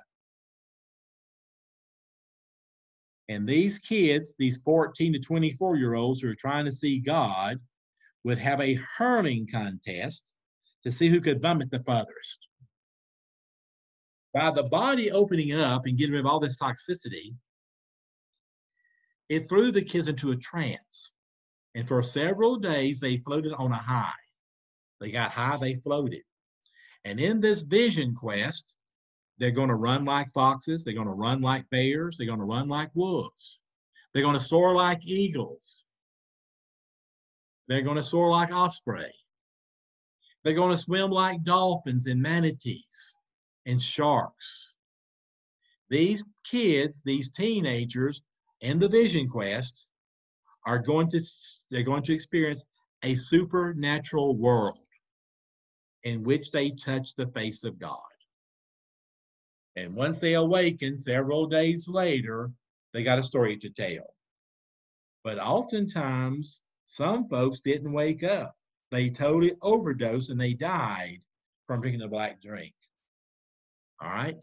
There's a lot of good books here written by the University of Georgia and Alabama and LSU that discusses all this stuff. And if you go to the University of Louisiana, uh, you go to Louisiana State University Press, you go to the Alabama University Press, you're going to go to the Georgia University Press, you can find lots of books here that you can read and look at, order, and read about all this stuff. I got them all here at the house. I've taken several classes in Native American history so I can understand. I've taken a class in African American history so I can understand what's going on. I took courses in women's history. I was the only guy in several classes. You're the only guy with 45 young ladies in the class, and they're all picking on you because you're the only guy in there. But I learned more history in my women's classes than I did anything else, studying women's history. That's what I did at Florida State when I was going over there for a year. So y'all look at these books and you can write them down and go to Amazon and order them cheaper from Amazon. And you can get paperback editions that are even more cheaper than the hardback copies. So y'all kind of look around and see what you can find out there. And of course, we have the encyclopedias for all the different universities across the country. As a matter of fact, I'm going to sit down here the next day or two and put these university encyclopedias on the website, on the blackboard. So you guys can just click on them and go right to the encyclopedias. And that's going to be one of my little jobs I'm going to do here the next couple of days. Get all them on there. I'm going to do most of the ones from the Southeast because that's the ones we really cover the most in this class. But I might add California's on there and some other states on there also. And I want to tell you something. Of all the states, only about 30 of them have encyclopedias on the internet. And those 30 are mostly southern states and the states in, in the in the in the southern on the Sun Belt region. Uh, we're more histori- historically interested than people in South Dakota are, or Montana, or Wyoming, or those areas. They don't do them. Uh, New England had some states that didn't do them in New England. I was really surprised. I thought those states would have encyclopedias also. You can go there, guys, and find all kinds of neat stuff too in these state encyclopedias. And I'll get y'all some connections to those here in the next few days, and uh, you'll have them on, on Blackboard to look at. Okay? All right, guys. The Native Americans believe a great white God is going to come see them they also believe in trying to see the face of God. The vision quest was common all over the Americas. They had various ways of getting high and having these vision quests. Okay? All right. You also are going to start seeing a major change in the economy. Around 2000 BC, 2500 BC, people start doing more traveling than they did before. They're farming, they're building their villages, and they're connecting themselves by the creeks and by the rivers, by the streams. Waterways become your major highways in this time period. Now, if you go to my Vicksburg site on my Facebook page, you'll see the evolution of transportation on the rivers. And it starts off with the canoe, and then with the raft, and then with the flatboats, on up to the steamboats. And that's a really good, they've had a really good little display area that showed the evolution of travel on the river system.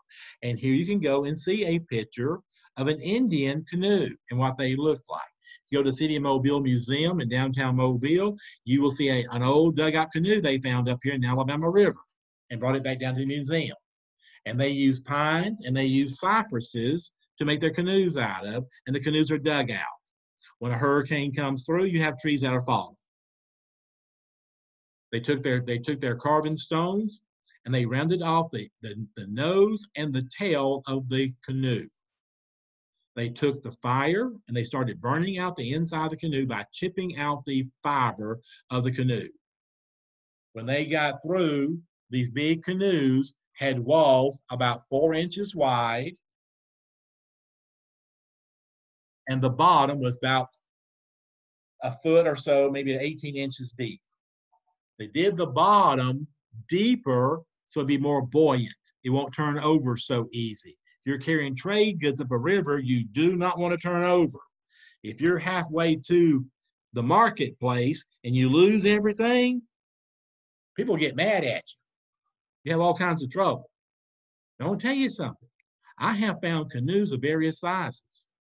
A regular one man canoe, a one person canoe, was usually about three feet wide, usually about maybe 10 feet long. And sometimes you carry a passenger with you in these single canoes.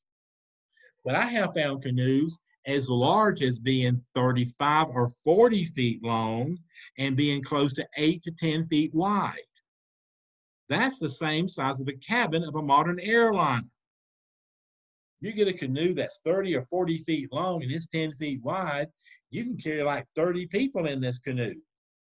If you put 15 folks on one side of the canoe and you put 15 more folks on the other side of the canoe and they've all got paddles, you make pretty good time on these rivers.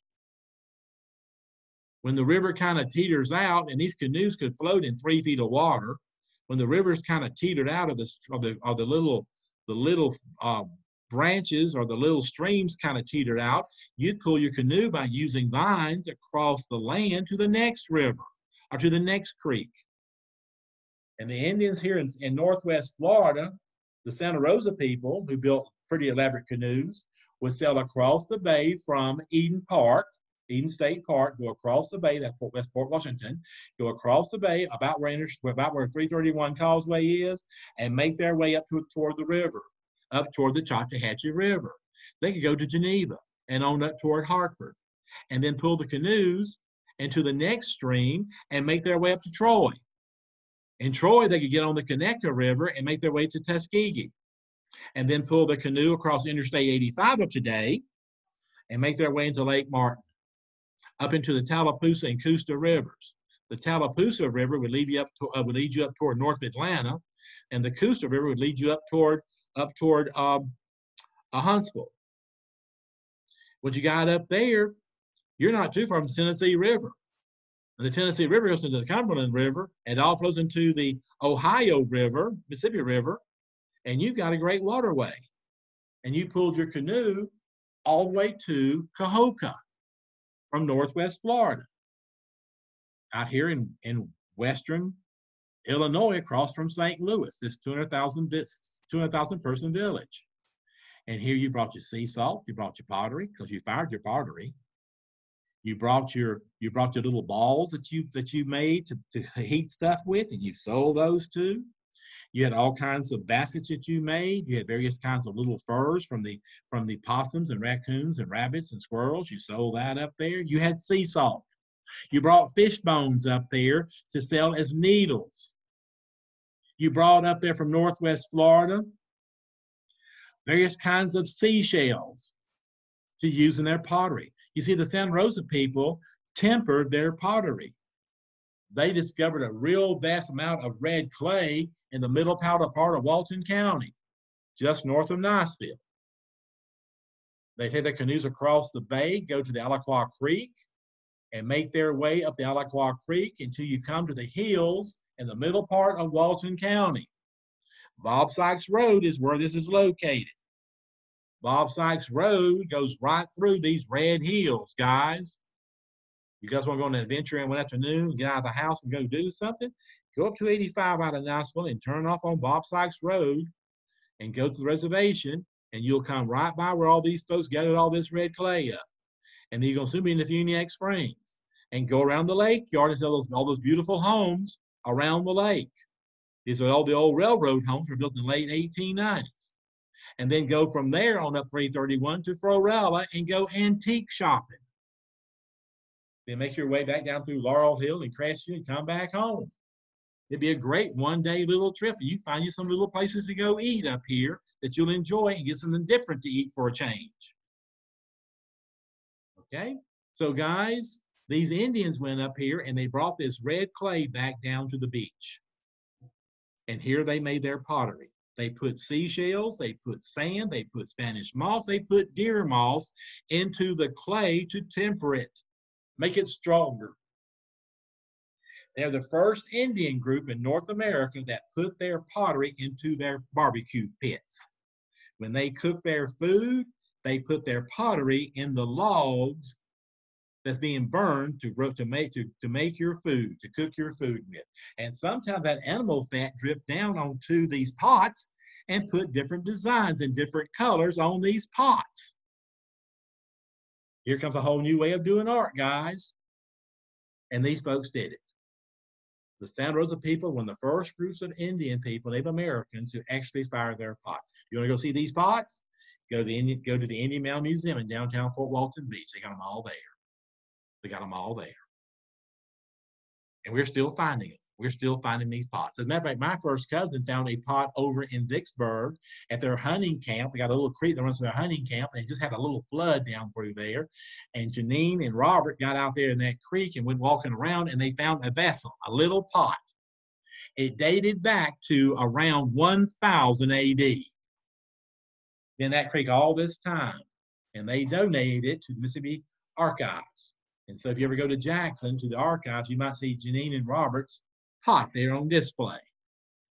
They gave it, they gave it to the museum because if they wanted to keep it, they had to go through and pay some tax on it. And if they found it to be cheaper just to give it away than to go through and try to keep it. And so they did that. So it's interesting, interesting thing to look at here. So guys, they entered this great trade uh, network. Cahokia had a trade network that went from the Gulf Coast to Hudson's Bay in northern Canada. It went from the Atlantic Ocean all the way to Southern California. And in this trade network are going to come the seeds. That's how corn got across the country. That's how potatoes got across the country. That is how tobacco and cotton got across the country. The seeds, tomato plants. Okay? All this is going to go across the country because these people have these great trade networks. The Natchez brought seeds in from Dallas and Fort Worth and from Kansas City. They brought seeds in from Nashville, Tennessee. They went up the river on their big canoes and they went to Cahokia out of Natchez.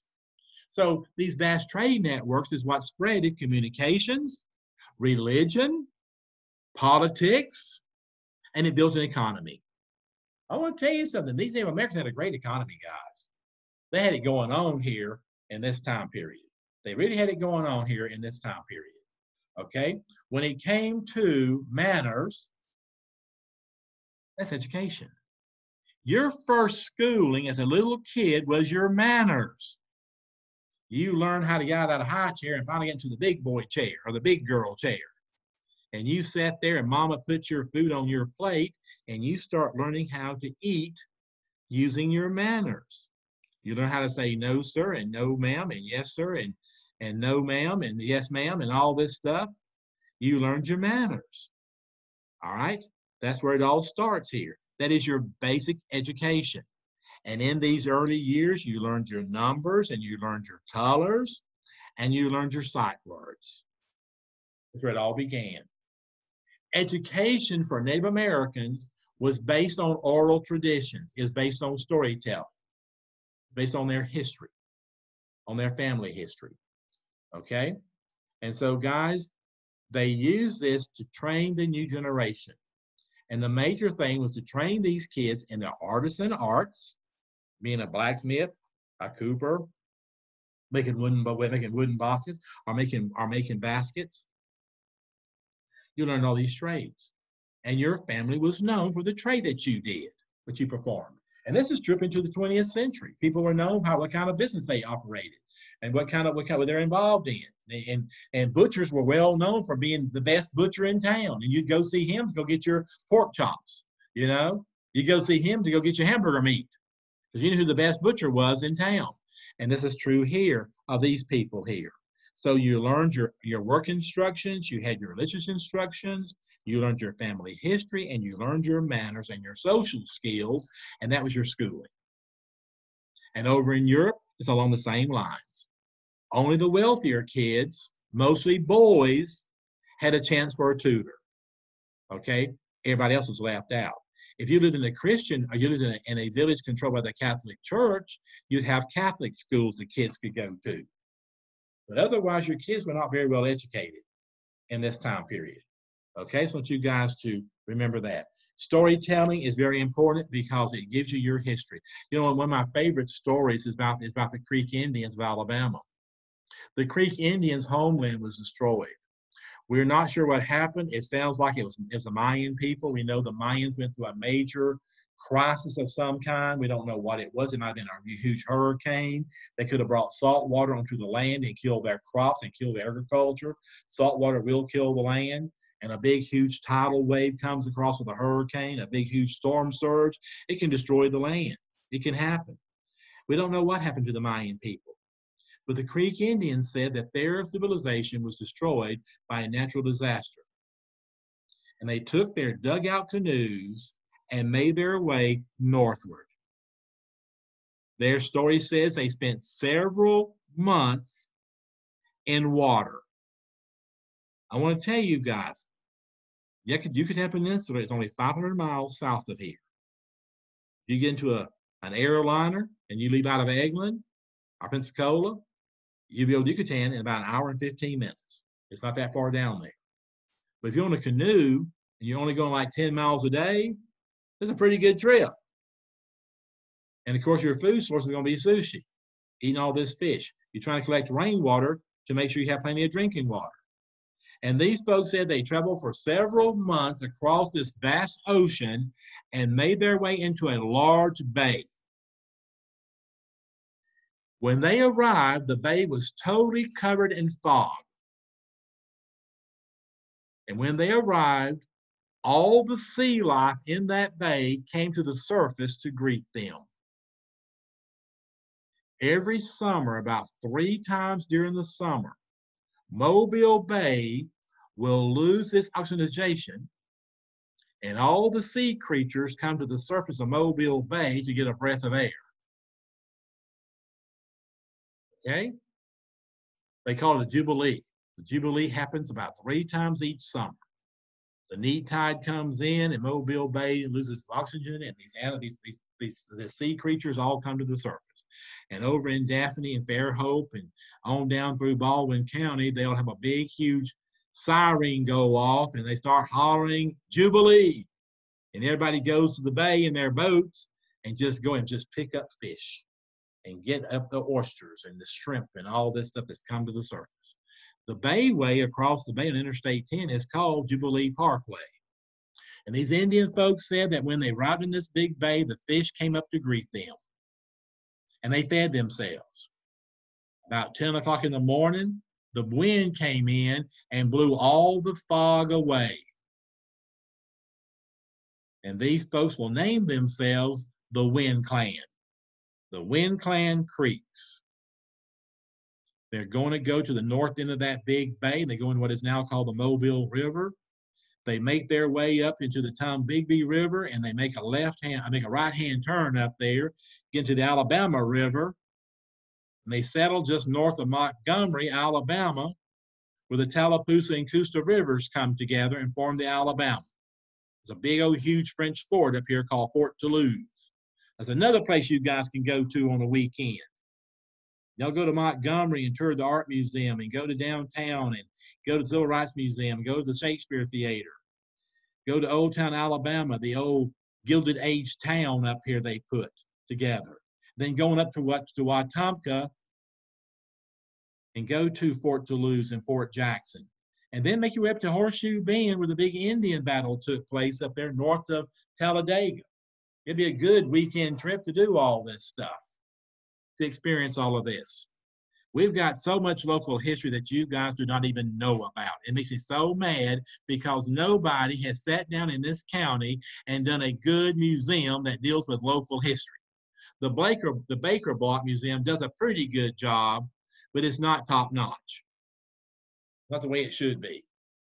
And we got enough money, enough resources in this county to build a beautiful museum of local history. And there's so much of it out there that we could be teaching our kids and let them go on field trips and experiencing it and seeing it and touch and taste history. It's so important. When I go to places like Calgary and Atlanta and and Memphis and Jackson and Mobile and New Orleans and Dallas and Houston, they're, they're great museums. I get so aggravated. I'm like, why can't we get modernized and have a great museum here of all this great history? So, guys, here come the Wind Clan Creeks. Why do you think we have the Wind Clan Casino in Atmore? It starts all with the Wind Clan Creeks coming up across the across the across the uh, the Gulf making their way into Mobile Bay. The art of these people is functional. The art of Native Americans are functional. They did basket weaving, they made pottery, they had great architecture, they made their clothing out of furs and out of plant materials. They even had music. They used flutes, they used whistles, they used percussion. They would go through and take rattlesnake rattles off the tail of the rattlesnake and use that, those buttons, they would use that to, to get a beat going for their music. They'd go get the cane and cut it into strips about, about yay long, about 18 inches long. And they'd go through and cut the fibers in between those connections and make a whistle out of it. They made a bird whistle and they used the whistle as part of their music. They took gopher shells and turtle shells once the turtles had been eaten or had died, and they did eat lots of turtle. Y'all can get turtle down here too. You want some different eat. Go get you some, get you some turtle soup or get you some fried turtle. Some of the restaurants here still offer down in down in Destin. It's a delicacy. And guys, they took the shells and threw them and put rocks in them and made a shaker. They made tambourines. So the music of the Native Americans is very similar to the music from Africa. When the African folks were brought over in slavery and they settled them in Georgia and the Carolinas, and these people got tired of being enslaved, they got tired of the cruelty, they ran away. And they made their way into the Creek civilizations and into the Cherokee civilization and they were gladly welcomed. Native American culture is very similar to African, I should say, Native American culture is very similar to African culture. They blend easily together. And that's why you have African American Seminoles. And you had black Choctaws and black Chickasaws and so forth. And a lot of your African American families, when they do DNA tests, will find connections with the Native Americans here once they had come into the New World you start seeing all this blending take place. Okay? So the music, the dance was very similar. They you had the rings out. They were this the, the music was used for, for self-expression in dancing. They had storytelling through dancing. They had religious purposes through dancing. They had various kinds of ceremonies. The sports was physical sports. Who's the fastest runner? Who's the best wrestler? Okay. Who's the best of the ball game? Yeah, back around 1000 BC, the, the Mayan people discovered the rubber plants and they took the rubber sap out and they went through and they heated it up. They vulcanized it. And they made what is called the ball. And they had plastic bottles and plastic shoes. They had flip flops back here, guys, in this time period. Some two, some 3,000 years ago, they had flip flops going on down here in, my, in Mesoamerica made out of the rubber and the ball was created, and they created what is called the ball game. The ball game today is now called lacrosse. And so all this is being developed during this time period. When the Europeans bring in the horses and all this stuff, here comes horse racing and horse pools and all this kind of stuff. All right? These people of Mesoamerica, the people of, of the Americas, had an advanced, complex material culture. They had a complex military, they had a, a complex um, material culture, which means, guys, they have homes with furniture in it. They got towels, they got bed coverings, they made they made sheets out of the furs and blankets out of the furs of little animals. They made their fans to keep them cool. They made walking sticks. They produced musical instruments during this time period. These folks got heavily involved here, guys, with a complex material culture. In other words, they're starting to hoard. Here comes the problem with hoarding. All right? And so they are advanced, they're advanced culture. When Columbus comes to the New World, they are living in what is called the Mississippian culture. The Mississippian culture was a culture that had evolved from these people or through these people in which they had a great civilization. They had their they had their politics, they had their economy going, they had their vast marketplaces. You know, when the guys came in with Hernan Cortez into Teotihuacan, the Aztec capital, these men were totally bewildered by the size of their marketplaces. They these guys had been to Constantinople, to Istanbul, Turkey. They had been to Rome, to the big marketplaces of the world. They'd been down to Baghdad, the big marketplace down here uh, in, uh, in the Middle East. And they said in their records that they had never seen such a large marketplace than they saw at the Aztec capital.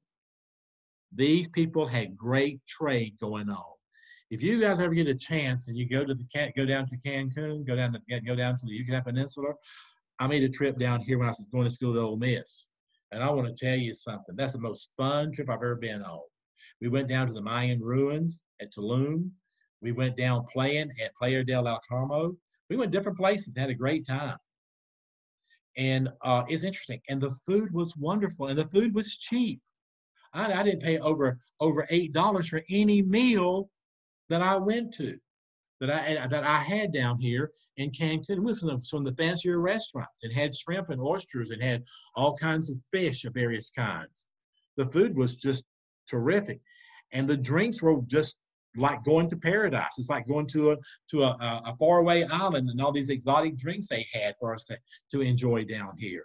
So guys, you get a chance, go down there, and you can see what things look like in this time period and experience it. You go on Google and Google the Mayan people. Don't forget, guys, on Blackboard, I got all these videos that you can watch, and it covers a lot of this stuff.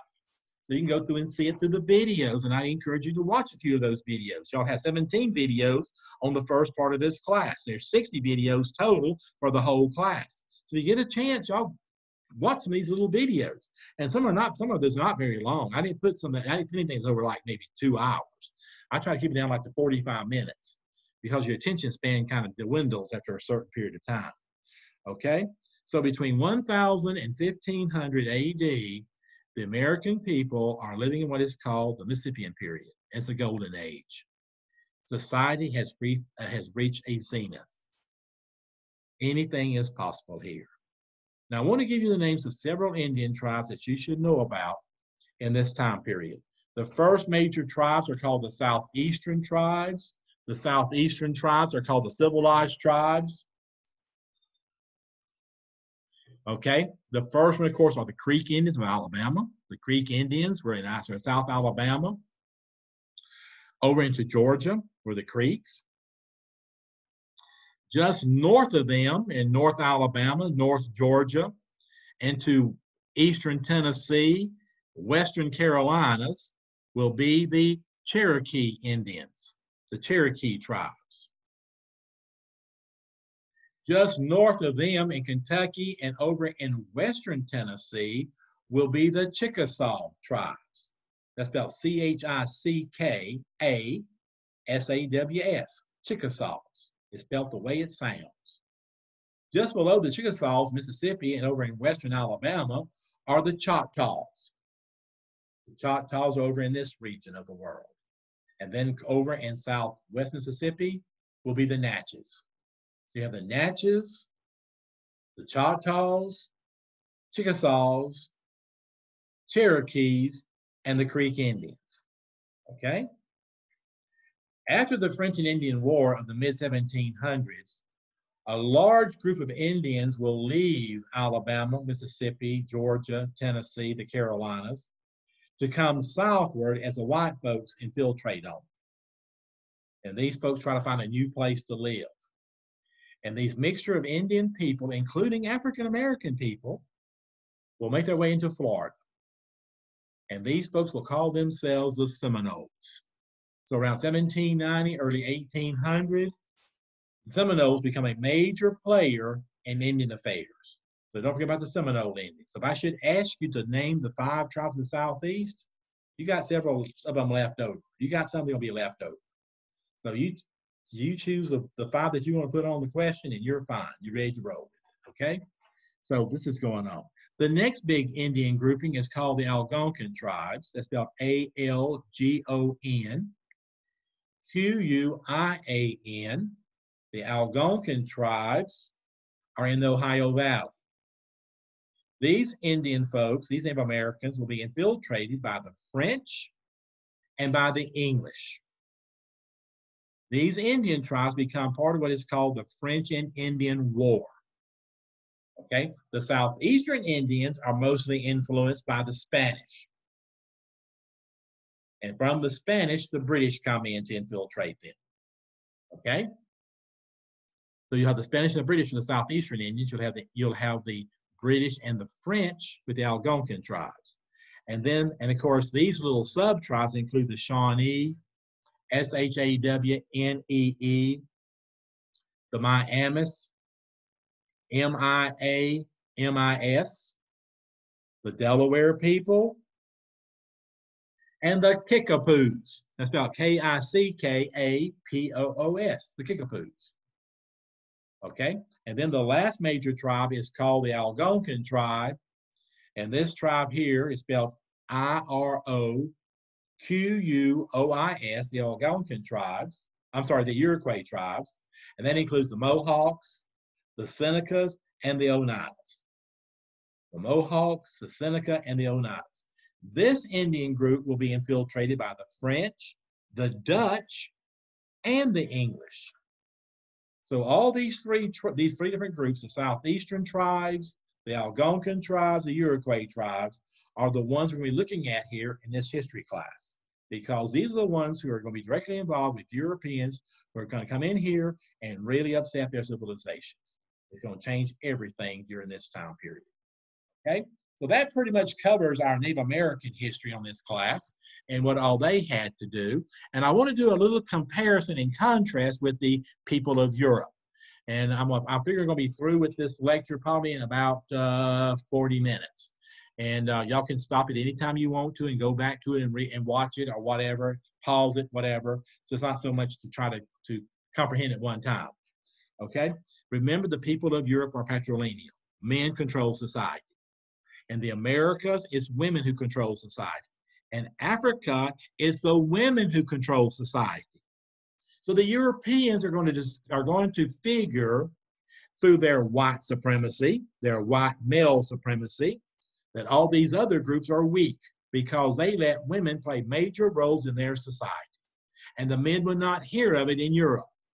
They kept the women down. As actually, they describe their ladies as being like children. They believe that women never grew up, they were still childlike. That's pretty insulting. All right. So women were totally put down by the European men. White supremacy, white male supremacy was a major factor here. Now, when the church, when Rome collapsed in 400 BC, the Christian church tried to take over and bring stability to Europe. They didn't work out real well. Okay? And across Europe during the time from 400 to 1000 AD, here comes the feudal system. That's spelled, that's spelled F E U D A L, the feudal system. The feudal system brought in what is called the caste system, C A S T E. What it is, is one guy or one family who controls the work of hundreds of people. The feudal system, the caste system, is when one person or one small group controls the work of hundreds or thousands of people. The head of the caste system, of course, were the lords and the barons of the castles they built. The castles became a major part of European civilization during this time period. They built castles for protection. I want you guys to realize these castles were pretty good sized castles. Sometimes they might cover 500 acres of land. and they built them up. Sometimes you have four or five stories in a castle. And like the Native Americans, they use earthen mounds to build the different levels of the castle, to build it up so they can have a, a, a very stable foundation on these castles. So you'd have layers that connected each other inside these castles. Okay? Inside the castles, they had divisions of work. The aristocrats controlled everything. They're in charge of the politics. This is your lords, your barons, and all their big buddies, the wealthier class, the top 5%. They controlled everything. Okay? They're also very devoted to the church. Church plays a role in the higher in the hierarchy of this civilization here in Europe. And of course, the head of the church is the Pope. So all these lords and barons looked to the Pope for directions when they needed help. They looked to the church when they needed help here. Then you start seeing the evolution of kings. In 1215, in June of 1215, King John of England got his lords and barons together. And they sat down and they discussed a way to have good politics and a good society. And they wrote a document called the Magna Carta. The Magna Carta brought self rule to England. And from the Magna Carta, you're going to get the Parliament, both the House of Lords and the House of Commons. So politics, democracy is starting to evolve here from King John sitting down with his lords and barons trying to get a peaceful solution. I want to tell you guys something. These people up here in these castles were greedy. They were always trying to war against each other, trying to steal each other's castles and expand their empires, become wealthier. There's all kinds of warfare going on up here. And of course, in inside the castles, you had the protectors who were the knights the knights and the vassals. The knights were the ones who rode on horseback. They went across here trying to make sure the land was protected. They guarded the farmland around the castles. They also made war with other castles trying to gain their property. So it's a big mess up here. So you have the lords, you have the nobles, you have the knights, and you have the vassals. By the way, the vassals mostly teenage boys. And their job was mostly trying to take care of the knights. And one of the big things with knights was knights were so bundled up in all that armor they couldn't go to the bathroom. And so they pooped themselves and they peed themselves, and the vassals were the ones who had to go through and clean out the armor. Now that's a job I would not want to have. Coming off the battlefields and they're all stinky, and you got to go through and help them get cleaned up and clean all the armor. I don't think so. So you guys go through and read about knights and vassals. It ain't so romantic after all. It sounds nice and it sounds romantic and all these demons in distress and all this stuff. Uh-uh. It ain't for me. It ain't gonna happen. Okay. Then you had your yeomen. Your yeomen are your farmers. Yeomen are farmers. You remember that. You don't have yeomen all through this class. The yeomen were farmers. You also had peasants who worked the farmland. These were people who were freed, but they didn't have much to show for. In today's world, or in the world 100 years ago, we'd call these folks sharecroppers. Okay? You had your tenant farmers, you had serfs, and sometimes you had slaves. A lot of Europeans would get slaves out of the Balkans. They'd go over toward, toward the areas of Russia to get darker complected people to be their slaves. And so you had a lot of people from Austria, Hungary, people from uh, from uh, um, Georgia and uh, from Armenia and so forth that were enslaved here during this time period. Okay, then you had your artisans. These artisans are very familiar with the ones in Native America. You had your apothecaries, that's your druggists, that's your people who made your medicine. You had your bakers. You had your barbers who cut your hair. You had your butlers, you had your bow makers and your arrow makers. You had your butchers. You had blacksmith, candle makers. That's what you, you at your house with. As a matter of fact, your your uh, your blacksmith would go and make big round cylinders out of iron, and they'd put prongs on them with sharp points on the end of them. And there might be maybe 20 prongs on, on a large, huge chandelier they built and you pulled it to your ceiling with a pulley. You had a rope attached to the chandelier, went through a pulley, and you pulled it up to the ceiling and you tied it off on the wall. You tied the rope off on the wall. Well, you lower down your chandelier, remove the old burned out candles and put new candles on those prongs. You would light them like a birthday cake and you'd pull them back up and tie them off on the wall. And you had light until they burned out. You bring it back down again and start all over again. So candle makers were very important people. You had to have your candles. And the blacksmiths are the ones who made your, your chandeliers for your houses. You had carpenters, you had cooks, you had gardeners, you had friars, and you had ministers. You had money lenders who controlled the banking system. All right. You had guys who made pottery. You had scribes who took notes, mostly legal notes. Your scribes is going to end up being a legal system. You're going to have shoemakers, and you're going to have you're going to have spinners, people who spin the cloth, mostly wool. Okay. The politics started with the Pope, goes to the king, and then goes to the Lord and the barons. Okay? These folks had advanced technology because they had draft animals. I mentioned this a while ago. With the horse and the cow and the ox and the mules, they were able to go through and make plows, wheel plows. They had wagons. They made various kinds of farming tools. Farming leads to technology. Farming leads to advanced technology, but there's a downside. With these people being agrarian, agrarian societies, they built their barns in their homes. You open the kitchen door to go out back and you go you enter into a barn. And that's how come they had these diseases. Smallpox comes from the horse. Cowpox comes from the cow. Chickenpox comes from chickens. You're going to have the flu, the swine flu and the bird flu hogs, and chickens. So a lot of your destructive diseases out of Europe is going to come because these folks live with their animals. Native Americans, animals were wild. They didn't live with them. Now you might have a kid or two, might have a pet possum or a pet raccoon or whatever. That's common. You might have a little boy that went through and found a wolf cub and raised it, become a domesticated.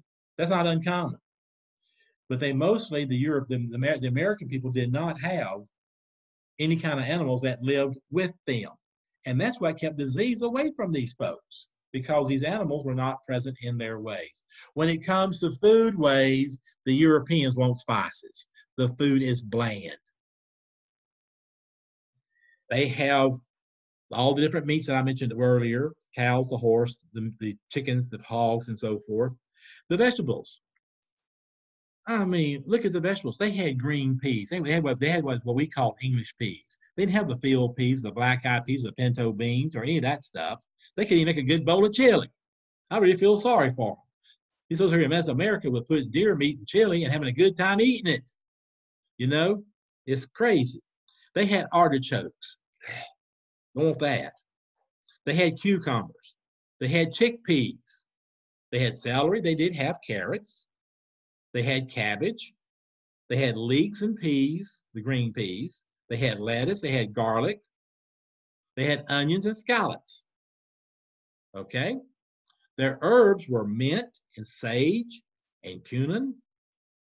They had parsley. They had they also had coriander. But they did not have nutmeg. They did not have cinnamon. They didn't have those good spices from India that they wanted to improve their food here. Okay? When it came to fruit trees, they had apple trees and pear trees and cherry trees and peach trees and fig trees and olive trees, and they had grapevines. North America did not have this fruit. Okay? When it came to nut trees, they had hazelnut trees, they had almond trees. And then they had dairy products. They had milk, they had cheese, they had yogurt, they had butter, and of course, they had eggs from the chickens. They had bacon off the hogs. Okay?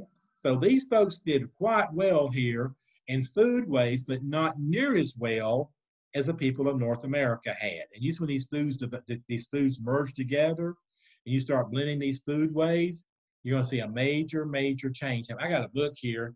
I don't. I guess in my bookcase back here on the history of, European, uh, the history of food ways. The book weighs like 15 pounds. It's a big, huge book. It was written in French, and they and they translated it. And I paid $100 for that book, but I wanted the history of food waste to give you guys more ideas of how these folks ate. You know, it's more fun to study cultural history than it is than dates and names and, and trying to remember all of that stuff. Okay? Their economy is going to be based around farming, but these folks are not environmentalists. By 1000 AD, they have cut down all the trees across Europe. They've got to burn peat now for, for actual wood or for actual materials to heat their homes, to cook with. They totally destroyed their farmland. One of the first things the Europeans did coming to the New World is they started cutting down trees. How did the Native Americans feel about that? They were horrified. These invaders who brought their diseases to them is now destroying the world that God has told them to protect. And they realize that their way of life is going to be is going to be immensely changed because of it here. But by 1000 AD, the forests of Europe were all destroyed. That's why you have hedgerows and, and little vineyards and so forth in these French towns because they tore the land up. They got rid of all the trees here. That's why the United States in the early 1900s, that President Roosevelt, Theodore Roosevelt, passed all these laws for, for environmental protection. Some groups want to go through and, and cover up the Grand Canyons. They want to go up there and, and, and destroy Yellowstone, Yellowstone and Glacier Park. And he stopped them. He started the National Forest Service and told the people, when you cut down trees, plant more trees. Don't go through and destroy your farmland. Don't go destroy. Don't go through and destroy your your your timber, your woodlands. You got to have them here. The economy here in Europe involves vast trade networks. These trade networks transposed across Europe. They also went to Turkey, to Constantinople. And you also had the Silk Road that went out to China. And one of your greatest people who went to China during this period of time was Marco Polo. And he came back home and wrote a book about his travels. It's called The Descriptive Life of Marco Polo or The Descriptive Journeys of Marco Polo. And he became very popular from here. Okay? On these trade networks, you're going to start seeing your spices. You're going to start seeing your your uh, cinnamon and, and your nutmeg and all these other uh, products here. Even sugar shows up during this time period. Okay? Well, guys, the Europeans started these vast trade networks, but there's another group out here that's also just is also making vast trade networks, and that's going to be a Jewish people. In 70 AD, because of problems in Israel over a little group who call themselves Christians, Rome comes in here and destroys Jerusalem. They take the Jewish people out of Israel and they spread them all over Northern Europe. They're a fringe group of people. The Europeans look down upon these folks. And these Jewish merchants begin to build their own mercantile houses, their own merchant houses. And they find a way on the back roads, off the main trade routes, to find trade goods to sell in their mercantile houses. And the Jewish people become rich off of it, become wealthy.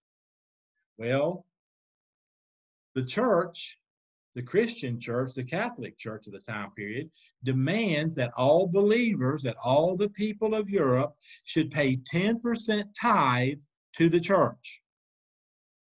What, 10% tithe from everybody in the church. Well, guys, the Jewish people have anything to do with the Christian church. They're, they have their synagogues. They have their own ways, their own places of worship. They have nothing to do with the church here.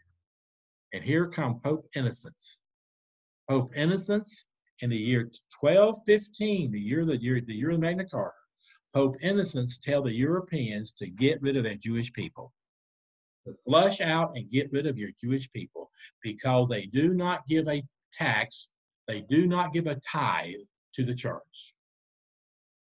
And here comes racism. In the year 1290, the British monarch declares, in Parliament, declares that all Jews are not welcomed in England. And they flush these folks out.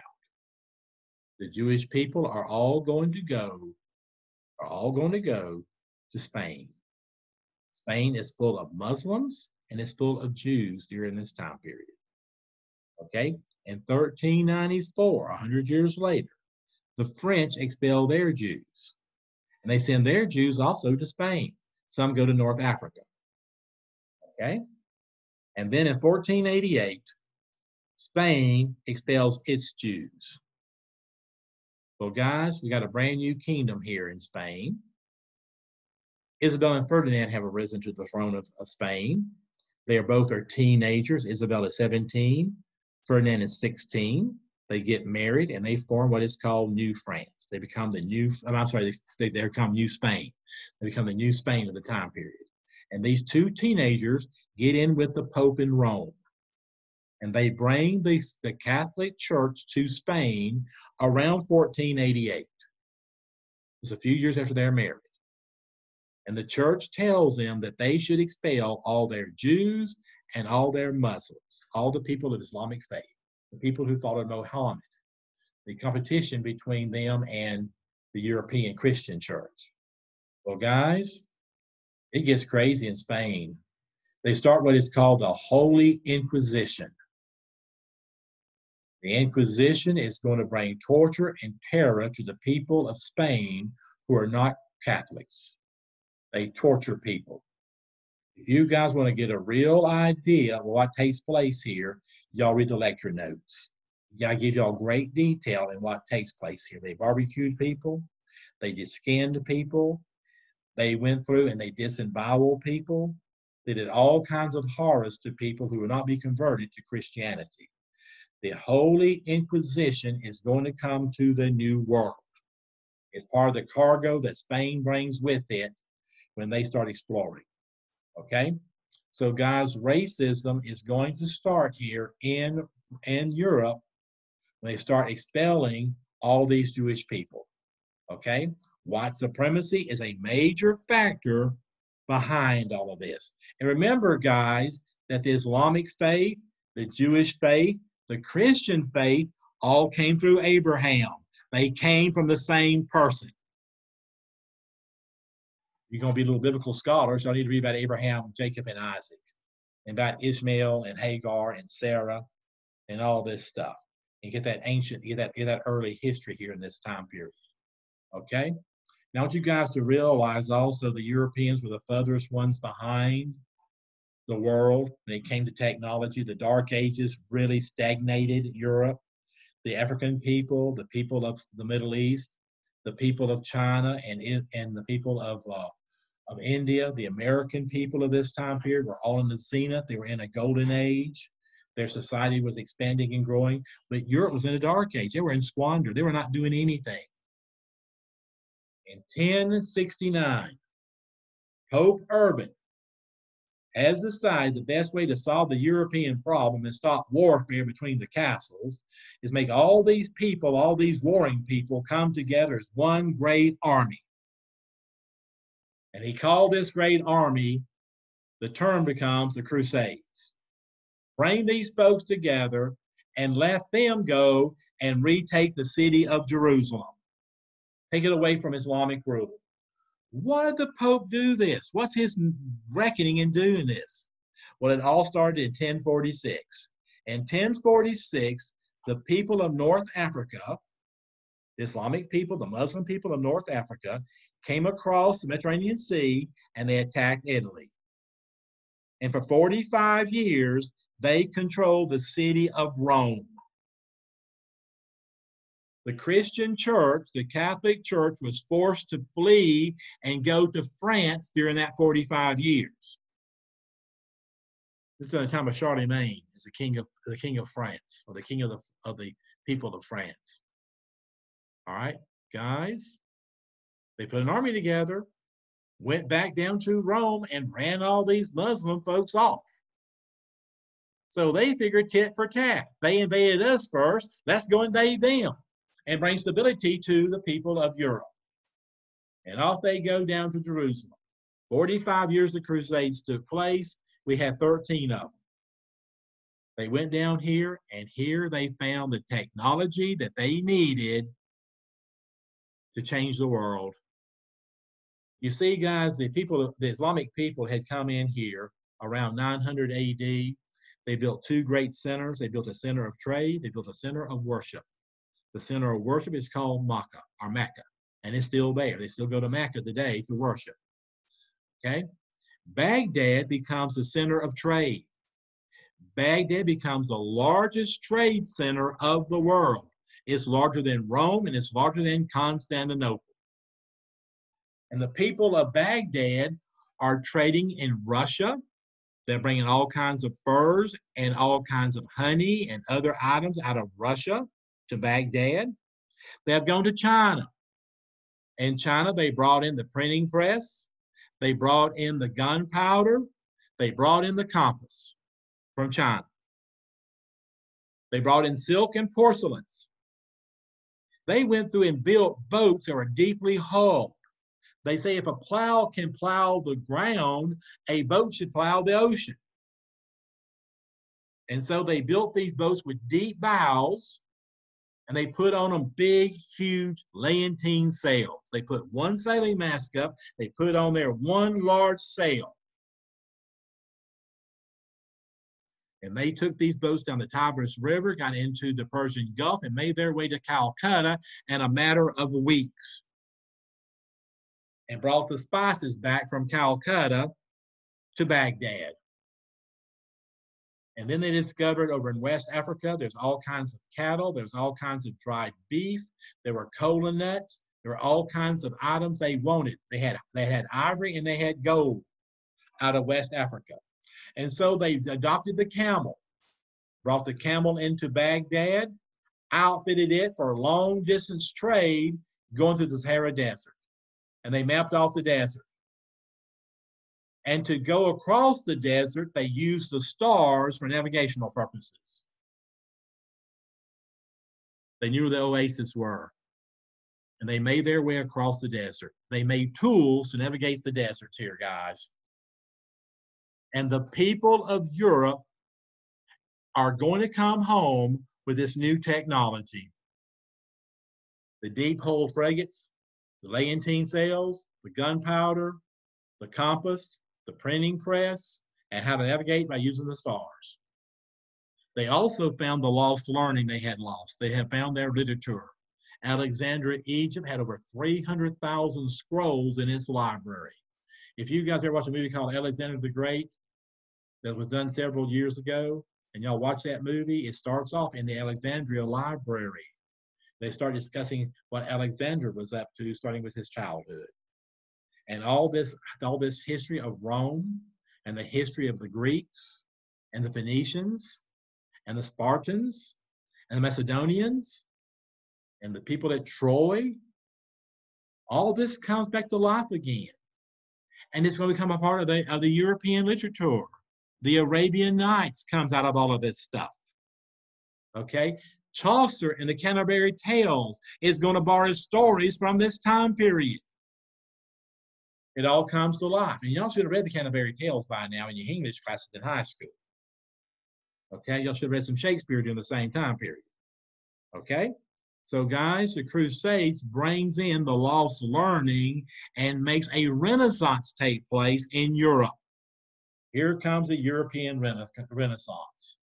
Okay, so guys, you're going to see a major change take place when all this stuff shows up It's going to allow the Dutch to build sailing ships that can go for six months without stopping.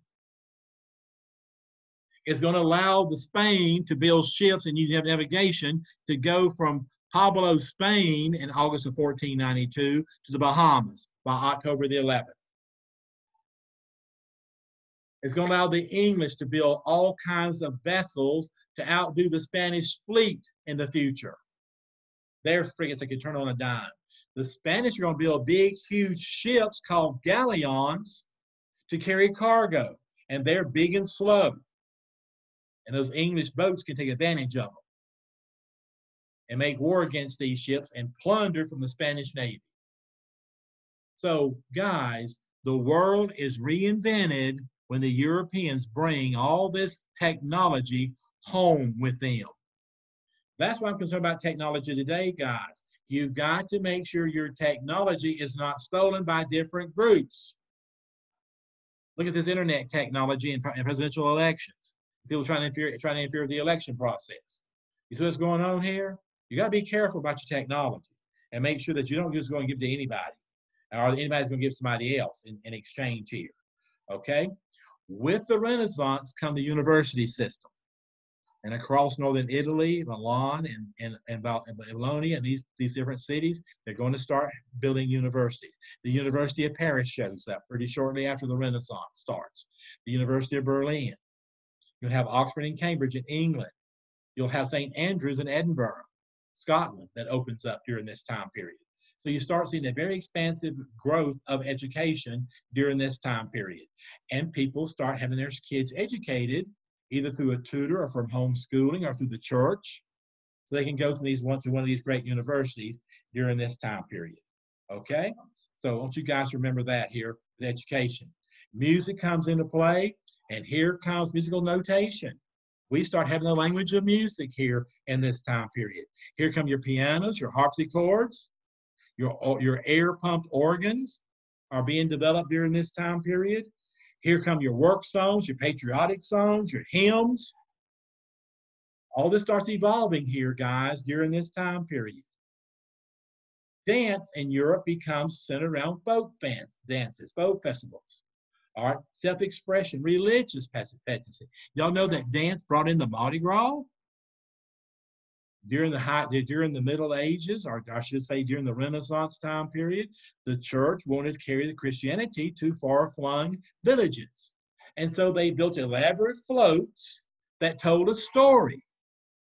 Noah's Ark, you know, they had the story of Abraham and Isaac uh, and being on, on the mountaintop where, where Abraham's to go through and sacrifice Isaac, and God stops him to test Abraham's faith. You have the story of Jonah and the whale. And all these floats had scenes on them in which actors portrayed the story to the people. And this begins what is called Mardi Gras.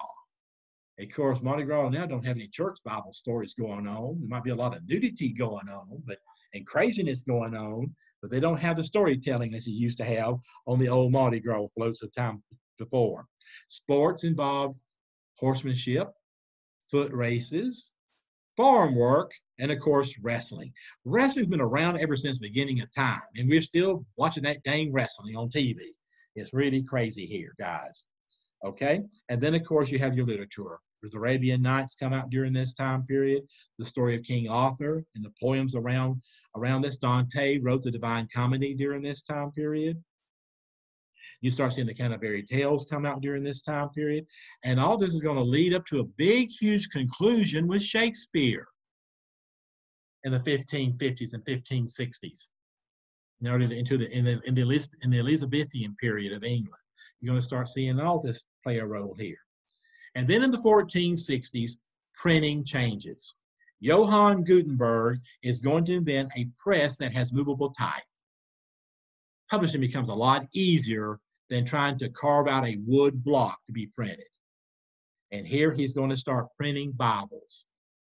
One of the first, the first things he starts printing are Bibles in Latin. The people of Europe cannot read them. The churches in, in Europe are all Catholic churches, and they're all being read to through Latin. And they don't understand what's going on. It might be a beautiful service. There might be some entertainment in there. It may have some great songs to sing. But as far as theology is concerned, Europeans were clueless. The church controlled the secrets of theology.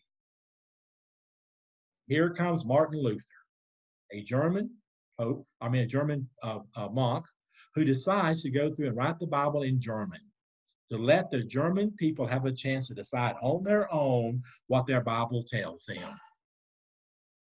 And through his research and through his writing, he finds 95 falsehoods of the Christian church, 95 false teachings. And he exposes it. Just like Michael Snowden did, and just like Daniel Ellsberg did with the Pentagon Papers, this man exposes corruption in the church. And from this exposure comes what is called the Protestant Reformation here comes a new church that's designed around the new theology. the truth of the Bible, not the falsehoods of the Catholic Church. And Martin Luther brings in the Reformation, and here comes the Protestant churches. Here comes your Methodists, your Baptists, your Presbyterians, your Puritans, your Quakers. All these different groups are all going to come out of this Reformation of Martin Luther. And he exposes. And remember, guys, 1517 is when it all took place. And 1517 is where Spain is expanding itself across the Caribbean. And all this new theology is going to come across the Caribbean here.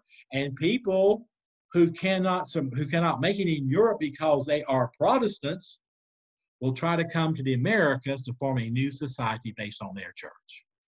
So a lot of your explorers who will come over will come over because of that reason. Okay? Well, I'm going to conclude class now. We've got a lot of stuff covered. When I come back and I do the History 2 lecture, I'm going to start off discussing how the church changed the exploration of the New World, the role that England plays in all this stuff, and then we're going to start discussing the explorers and the, and the building the and building the different colonies. And I'll have that lecture done here in, in a few days. Okay? Y'all have a good afternoon, a good evening, and I will see y'all later. Thank you for watching.